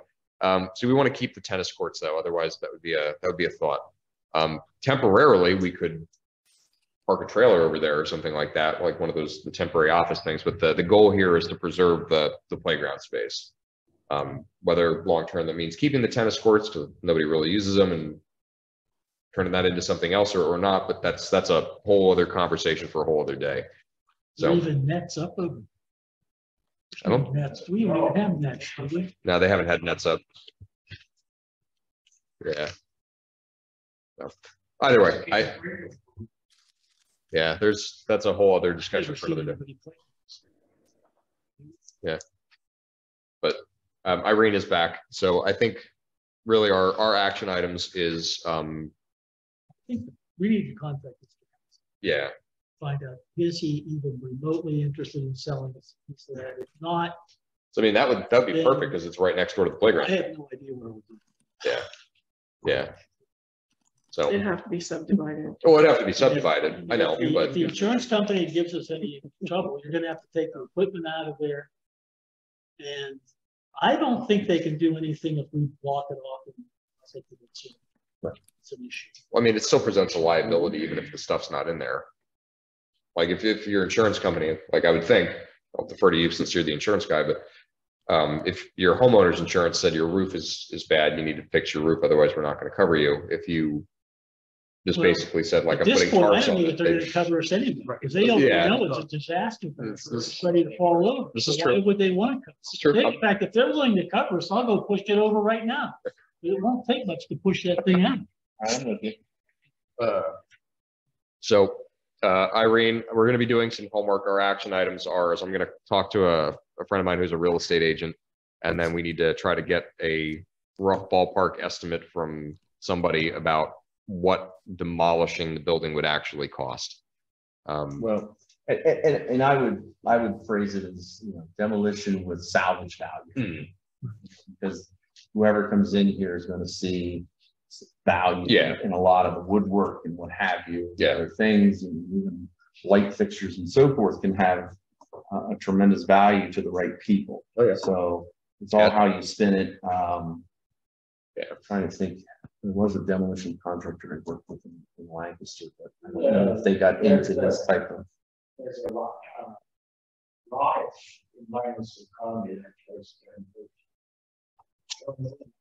Yeah, the key is, the key is finding one that just doesn't want to knock it down. Yeah. One that wants to s- do select demolition, pulling out, salvaging the good stuff and Yeah. then taking it down. Okay, yeah, yeah, that's, that's a good thought, Sue. Because uh, again, to reiterate, I don't want to have us go down that avenue, but whether we sell it or we demolish it, I do want to make sure that we take pieces with us so that we, we preserve Yes. the, the character of, Yes. I The just building. Googled it. There's three that come right up. okay, uh, Empire. Empire's one of them, Eshelman, Jericho. Okay. Plus probably Sounds- many, many more. Sounds And like. expand your reach a little bit. Hoover. Again, I think finding one that specializes in historical salvage and demolition. Because they're gonna see the value in each. Yeah. So we'll, we'll make some calls and we'll have that for the workshop meeting then. Okay, next is the property deed. I mentioned that earlier, but uh, we had made a request to the Conrad Weiser School District. Uh, The Conrad Weiser Superintendent and the Director of Facilities were here on the seventeenth to evaluate the property. Um, I gave them a a tour and kind of an explanation of the situation we're in. They had this on their meeting agenda for the uh, school board meeting that happened uh, the prior Wednesday night. Um, we have received a letter from their solicitor, uh, solicitor indicating the school board is agreeable to the township's proposal and would like a contract and new deed for the school board's consideration at their meeting. Um, I assume we just need a motion to authorize the, the solicitor to draft the, the, the contract and the new deed. Yep. So I'll make a motion to authorize Kozloff Stoudt to draft the new contract and new deed in alignment with the school board's consideration of our request to dissolve the pre-existing covenant. Second, On a roll call, Peter, Aye. Irene, Aye. and Jerry. aye. Motion carried. Mr. Chairman, just to back up on the proposed new building. Um, so maybe that's becoming a little more of a priority now. Yes. Um, it, it, you know, I've provided a really rough floor plan to look at. Um, it, it might be beneficial to, and I, and we can talk, you know, after the meeting, but perhaps uh, engaging an architect, come in here, get a sense of this building and its character and history, Hmm. and work on refining that floor plan to incorporate some aspects of this building here, um, and start to push that project a little more, more emphasis now that we know there's an issue here. Um, I just, you know, time ticks by month by month, Mm. and I would think, you know, till you go through planning, land acquisition, what have you, you know, it could be a two-year period, so, you know, in the interim, what do you do? And There's probably an architect out there that's already built one that's very similar to what we're looking for. Well, and I, I can share with you Nice. some other thing, I just came from another meeting. Yeah. Um, uh, uh, not quite the scale that you're looking at because of the, the, the community aspects and the and the evacuation things, but, um, nonetheless, I think, you know, it might be time to start pushing that effort a little. Do they, do they have an The reason architect? we know that is, when I was on council in Western Pennsylvania, we built a new building at one point. And when the architect sent it over, it had the wrong Name, the name. on previous job. Yeah, it was a previous job. We were building the same building. So, Well, that, That's that probably could what's certainly happen. happen, but I think, you know, if you have a reputable architect to help with that, Yeah. you know, the- the- it's, it's your building. Oh, yeah, it's we need an architect They'll make it, they'll make Yeah. it, we're gonna need one, but he may already have something to say, hey, look, if we just built this, Mhm. will this be adequate? Yeah, they may have something really close to We your can point. say, yeah, So can you change this? Yeah, okay. Chuck, if you have somebody that you've been working with, can you get the contact Let information know. over to Sure. Sue so we can call them? Okay. Be happy to. Okay, next is the twenty twenty-three fee schedule for professional services. Uh, we received this from Systems Design Engineering, Kraft Municipal Group, Kozloff Stoudt, and Attorney Keith Mooney. Berks and Biotech will keep the same fees as twenty twenty-two. Um, we will need to adopt these fees, uh, via resolution twenty twenty-three two. Uh, I'll make a motion to adopt these fees. Second, On a roll call, Peter, Aye. Irene, Aye. Irene indicates aye. and Jim. Aye, Motion carried. Okay. Next is the COSTARS Salt Contract Renewal. The enrollment deadline is March fifteenth, twenty twenty-three for the 2023-2024 season. Last year, we renewed for hundred and fifty tons. We need to take a minimum of sixty percent and a maximum, or, or a maximum of hundred and forty percent. Minimum is ninety ton, maximum is two hundred and ten. Uh, two hundred ton would be, uh, hundred and twenty ton ma- minimum and two hundred and eighty ton maximum. So much like we talked about on Saturday, we should pin this until next month's Board of Supervisors meeting in case we have snow. Uh, because as it stands right now, our salt shed is fairly full and we have not taken a single delivery. I just So- ordered two You loads. but- ordered two loads? Okay, so we have a lot more loads that we have, would have to take and we don't have the room for it. So um, that's gonna influence our decision making, but I'm overall fairly comfortable with the hundred and fifty mark because that's a, a pretty good low amount, a pretty good high amount based on an average year. So we'll talk more about that next month, but with any luck, we won't have too much snow. Maybe just enough to use a little bit of the salt. Uh, and then we won't have to, to sweet talk our friends in Tulpehocken Township about holding some of our salt again.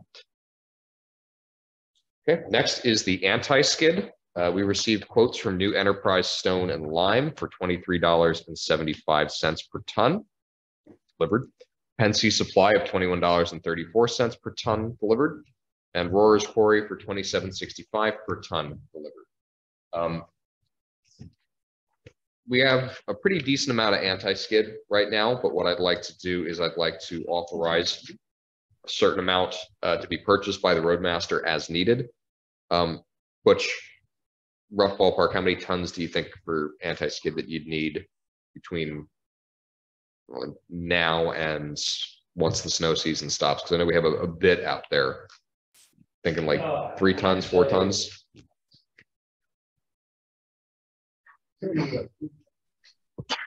Don't want to keep, we don't want to keep so much on hand. Yeah, so we want to be, Spend that money. yeah, Say,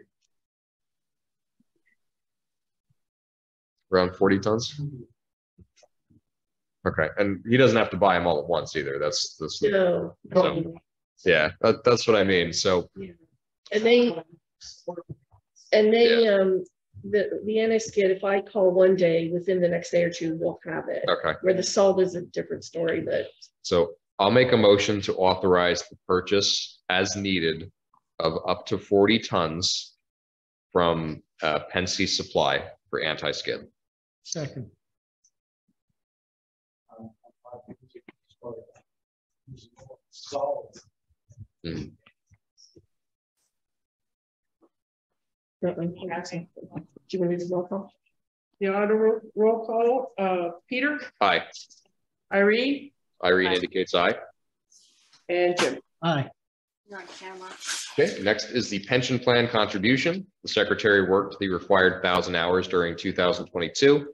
Contribution rate is fifteen percent of the gross salary, uh, the thirty-three thousand and three dollars and fifty cents. Calculated contribution amount is four thousand nine hundred fifty dollars and fifty-three cents. Motion was made at the workshop to authorize this contribution. Next item is the vacancy chair resignation. Nancy Carrington moved out of the township and sent us a letter of resignation. Um, we did appoint Kelly Cox at the reor- reorganizational meeting for the vacancy chair. Um, however, it's just in good practice to, uh, with regret, accept a letter of resignation, and we made a motion reflecting such at the workshop. Uh, the secretary will send a letter to her acknowledging this. Okay, next is the certificate of commendation. Um, we had a, a situation where one of the residents of Tulpe View uh, had a, a medical episode while they were taking their trash out. Uh, Jorge Gonzalez, who was the trash truck driver for Eagle Disposal, um, without hesitation, dropped everything that he was doing and helped the resident get into their house and called 911, uh, along with some of the other residents uh, and neighbors of that person in Tulpe View. Um, we talked about this on Saturday and made a, a motion to send a certificate of commendation to Mr. Gonzalez and to the two other neighbors that helped, Mr. Jonathan Kurland and Mr. Robert Schleiss? Schleibeis? I Um, misspelled it, Schleweis. Slave ice, thank you. Um, so we have a nice little letter of commendation. I believe we're, we're all gonna sign it and send that out. Um, it's seldom that you, you have something like this happen, and it's, it's very nice to know that there are people uh, that we have in the community that will drop everything that they're doing and go out of their way to help someone when in need. So, um, special thank you to, uh, the driver from Eagle, uh, Mr. Jorge Gonzalez, Mr. Jonathan Curland, and Mr. Robert Schlaveis. Okay. Next item is the Mervin and Mabel Weiler letter of credit. This is number D005159. Uh, this is for Weiler's Garage. The letter of credit has been auto increased from $45,119.96 to $49,631.96. Next item on the agenda is the Henry and Jane Steiner property uh, for ag security. Um, This is the Lebanon County Conservation District. Uh, They'd like a letter from us saying it's okay to put the entire parcel into Mill Creek Township's ag security. Um, uh, For where we ended up with that on Saturday, we actually need to send them a letter or is it Mhm. just an acknowledgement? No, Okay. they want a letter. Okay.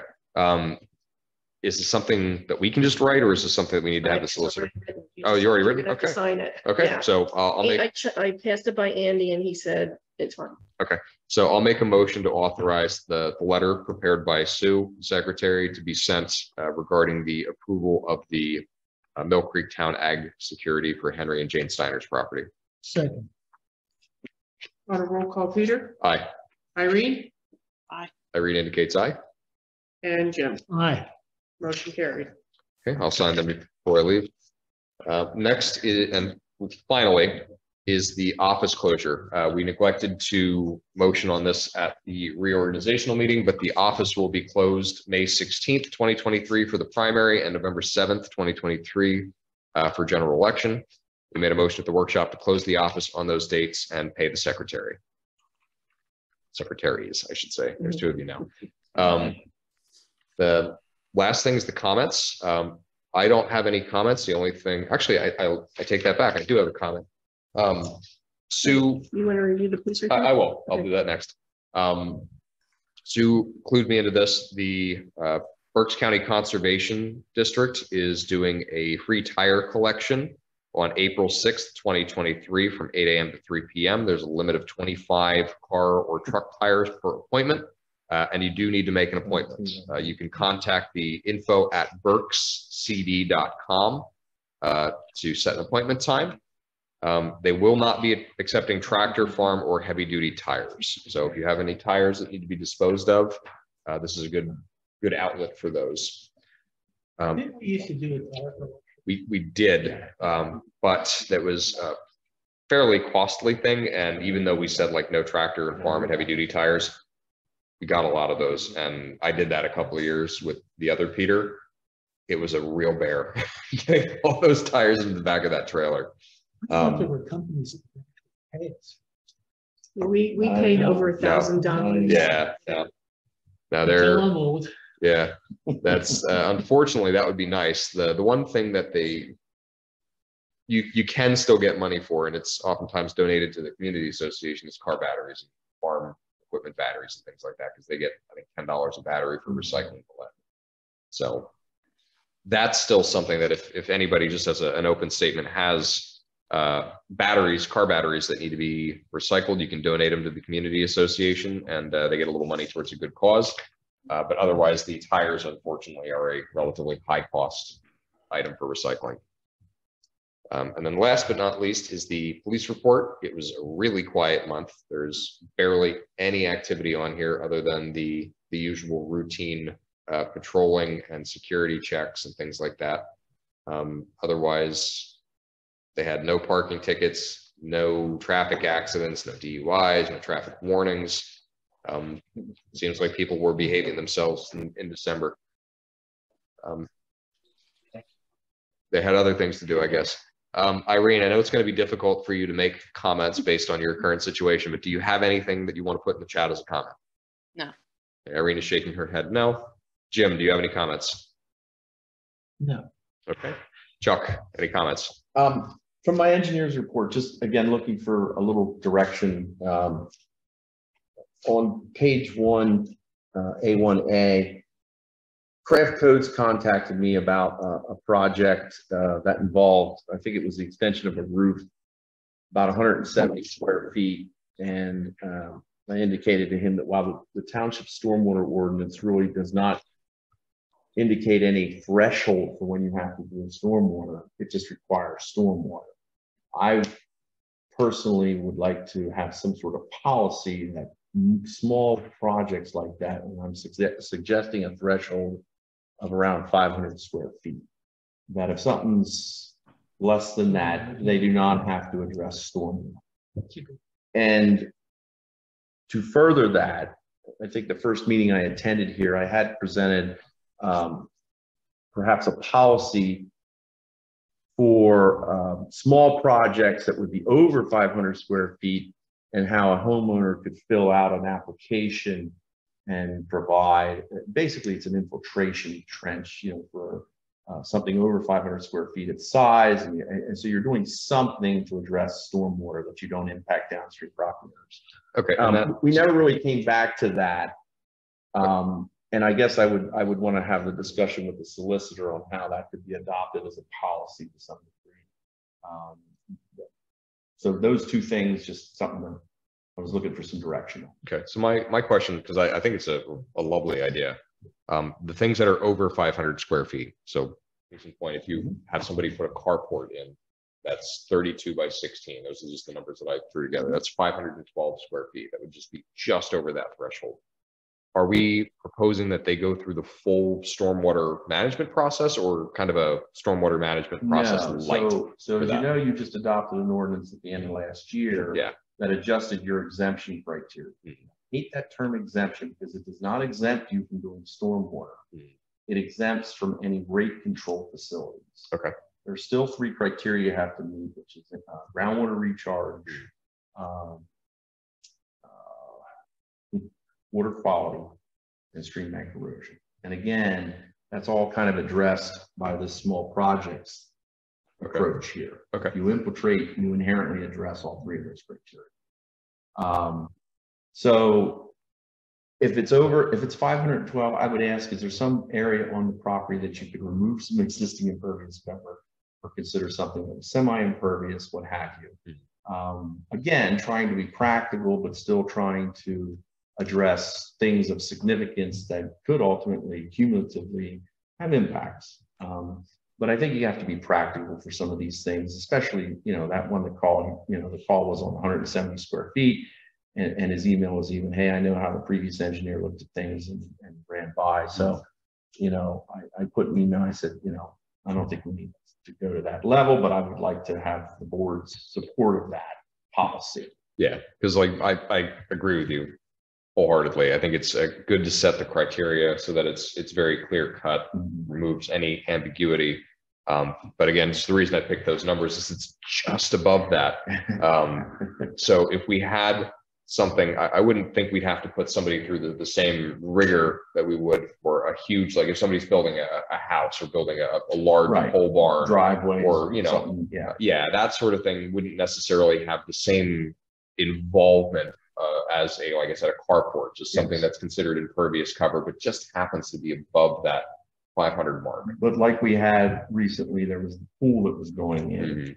And so that met the exemption criteria, and then they addressed the, the other three criteria with a little infiltration trench, which I think was appropriate. Yeah. Um, so for something like you're talking about, if it meets the exemption criteria, they could simply follow the small projects Mhm. and basically be doing something to To address. mitigate the rest of it. Okay. Yeah. Let's, let's talk about it. Um, Do you want me to put stormwater on? next yeah, I was gonna say, put that on the, the agenda for the next time, and if, I don't know if you want to be here, the, the workshop meeting, or if you can just send us like your notes in the packet. Yep. Um, I don't want to belabor the point, Yep. because it's already, Yep. uh, nine fifteen And, tonight. and I but- tell you what I would do too, in the meantime, and just to get the solicitor on board, you know, send him the same packet. Yeah. And just so he's prepared to how, either this is a policy or if it needs to be something else a little more. Sure. Okay. Um, the other item, uh, I had. So of course, Stonecroft Village was here tonight and I also had a drainage, uh, complaint. Um, for Stonecroft with the infield that was filling up with, with, uh, drainage. Uh, I guess I'm. I think what I need to do is pull like a, a job number to track time and cost spent on Stonecroft Village, because I'm hopeful you still have some escrow money that the developer would be paying for, for anything related to that developer. Ask her. Yeah, we'd have to Don't check. ask me. I'd have, Okay. to- I'd have to look at QuickBooks, or we'd have to look at If you QuickBooks. don't have escrow, I think you could be requesting they replenish it. I Uh, don't, I would say we don't, I but would I don't say know that we- for a fact. Okay, Yeah, I, I don't recall seeing an escrow okay. account with a balance in it. So. We don't, we don't. Oh, we okay. don't. So any, any costs the township incurs in the future in dealing with that development, can, can those costs go back to the developer? Uh, Developer just reimbursed. Shoot, you walk away from me. What are you going? Yeah, from. It was back, that was Right. back stuff, because I think the way that, that's, um. I'd have to check with Irene, but I think the way that that agreement is written is they're responsible for all costs.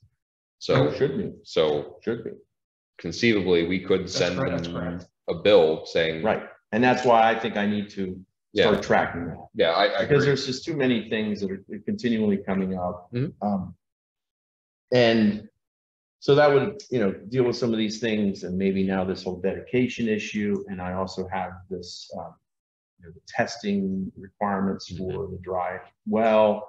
And moving forward, you know, eventually as for drawings and, and release a letter of credit, what have you. So I, I, I want to start tracking that for you folks because I think you can recoup it from the developer. Okay, yeah, Okay. please, please do. I think All right. that's prudent. Uh, and then. I think that was it. Yeah, I think that covers, um, the Stonecroft I actually had in two places. Um, one was with regard to the, um, the, uh, offer of dedication that we heard about tonight, because again, I, I received, uh, those exhibits and, and felt it was necessary to take a quick look at that. And then also there was the drainage um, complaint that came in. Um, So again, I, I think anything related to Stony Brook Village, the township should be recouping the costs and, and helping the homeowners association um, and dealing with the, the various developer issues that seem to be coming to light. And, and hopefully it's coming to an end here Hmm. soon, you know, the last couple things and I think it certainly is coming to a head, but Yeah. with that said, there's going to be a flurry of activity as they try to close things out, so. that's. You said you did look at these, these storm sewers. Um, I think it was a month or two ago, the gentleman came in here, had some pictures. Yes. Yeah. And they were of the inlet boxes, the catch basins in the road. And there's, uh, grade adjustment rings or bricks that are put in there. And the pictures he had is very typical. There's bricks from water pressure outside the, the box under the pavement if the groundwater's there. And then especially if you have settlement of the pavement right against the concrete box, water gets down in there, it starts putting pressure on those bricks, it starts pushing them in and it dislodging. And Typically, it's a result because when they were installed, water was put around the bricks after they were adjusted. So there needs to be a weep hole there to allow that water pressure into the box versus that's pushing on the something- Is that something that Stonecroft should repair? I would say it would be something I would, we would should be brought to the attention of landmark. um, Especially if they're pursuing uh, this whole dedication of not only the open space lots, but eventually the roads. But I would advise you to, to look at the, you know, the, the declaration uh, for the homeowner association, see how that dedication process is there. And I would hope But I don't know that there would be provisions that, um, you know, the HOA basically signs off or accepts dedication once everything's in a condition that you're satisfied with. That being said, if the township still has financial security for that, when they come to ask for uh, request for uh, reduction or just the release of that, then that's going to prompt me to go out and do a final inspection of what they're asking for, or what money's still held. And certainly from what I'm hearing, I'm going to involve the HOA or representatives from the HOA. And we will identify and list things. Um, I, I know, I can guarantee you as a classic developer, they're gonna push back on all of those things. But certain things are gonna be important, um, structurally and a safety aspect. Uh, those inlets, that might be part of it. I just want to make sure that they don't. Skip leave town. there Before they, Yes, before they.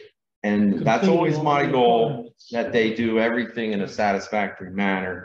The issue becomes though, because that development's been under construction for over a decade, things were in good shape ten years ago, but there's wear and tear things, we can't go after them. I don't believe for wear and tear issues, you know, normal wear and tear. Like I was telling the residents tonight, I think that the HOA may have a legal obligation in the declaration to accept dedication of some common areas when a certain threshold is hit. Other, otherwise, HOAs and developers would be fighting all the time about what, when, when and, and what they need to accept. I mean, ultimately, the purpose of the HOA as established by the developer in the declaration is so that the HOA is responsible for the maintenance of those common areas.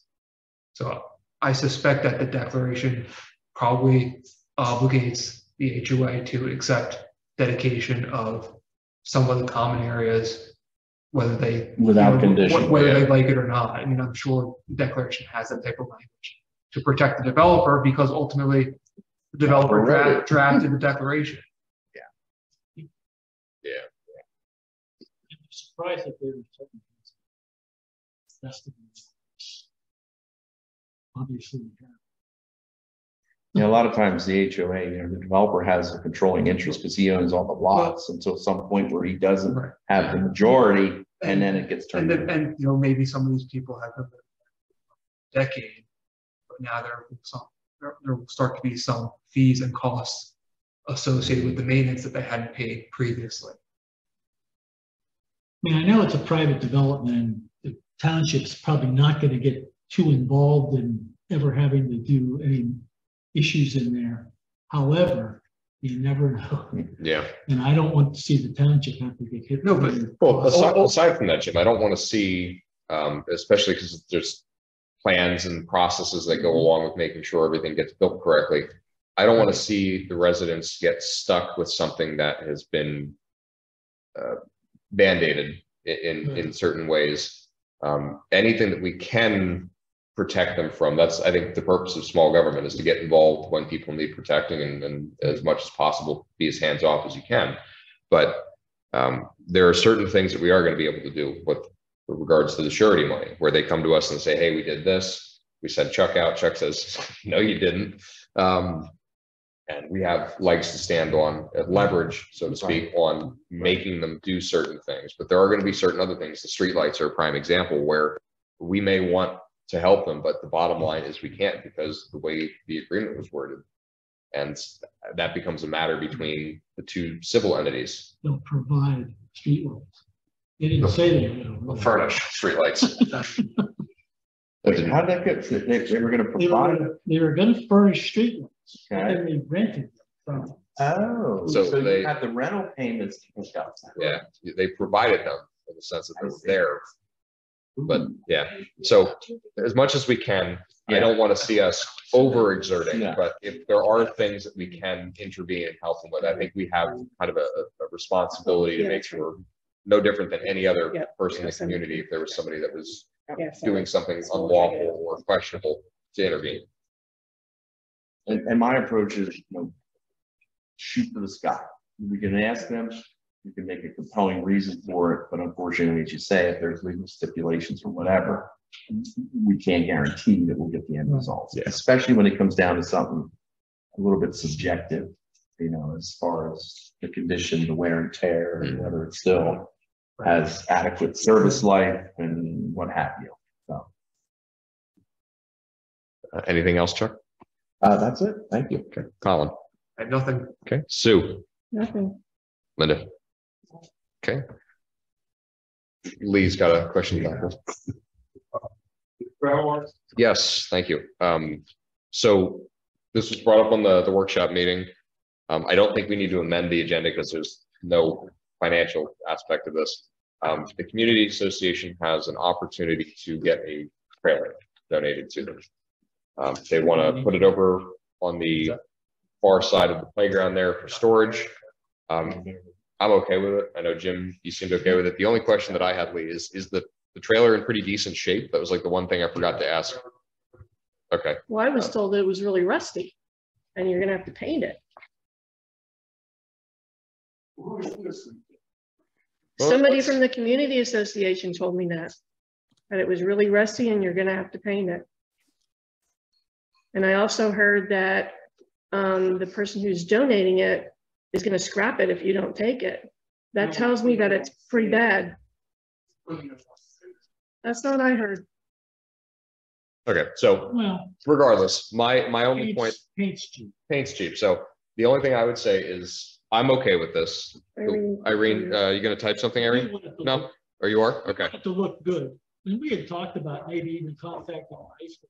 kids and tell them, okay, Come so, over and put a mural on it. That way they'll have some ownership in it, probably use the playground. so Irene says, I'm not in favor of this trailer, I'd wanna see it. Is there an opportunity that we could take a look at it? Like you could send us some pictures or something of it? Okay,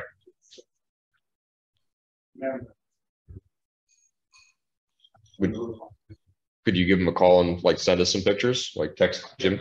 Okay.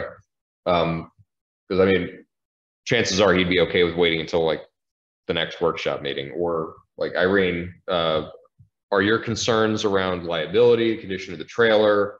Um, cause I mean, I, I think from a liability standpoint, it's no different than the other shed that we have there.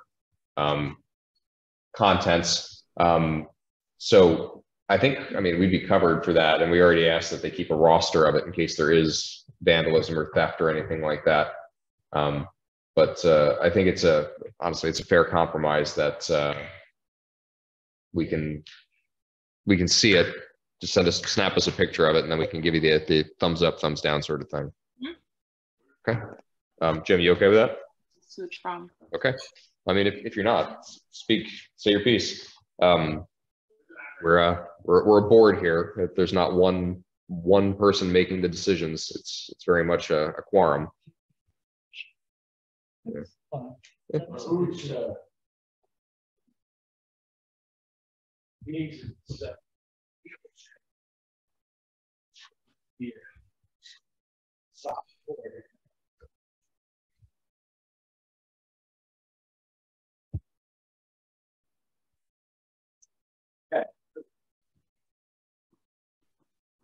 What did you eat? No, you, you'd want to get the, you'd want to get the title signed over to the MTCA. You wouldn't want to, yeah, Man, that's taking a line, Bill.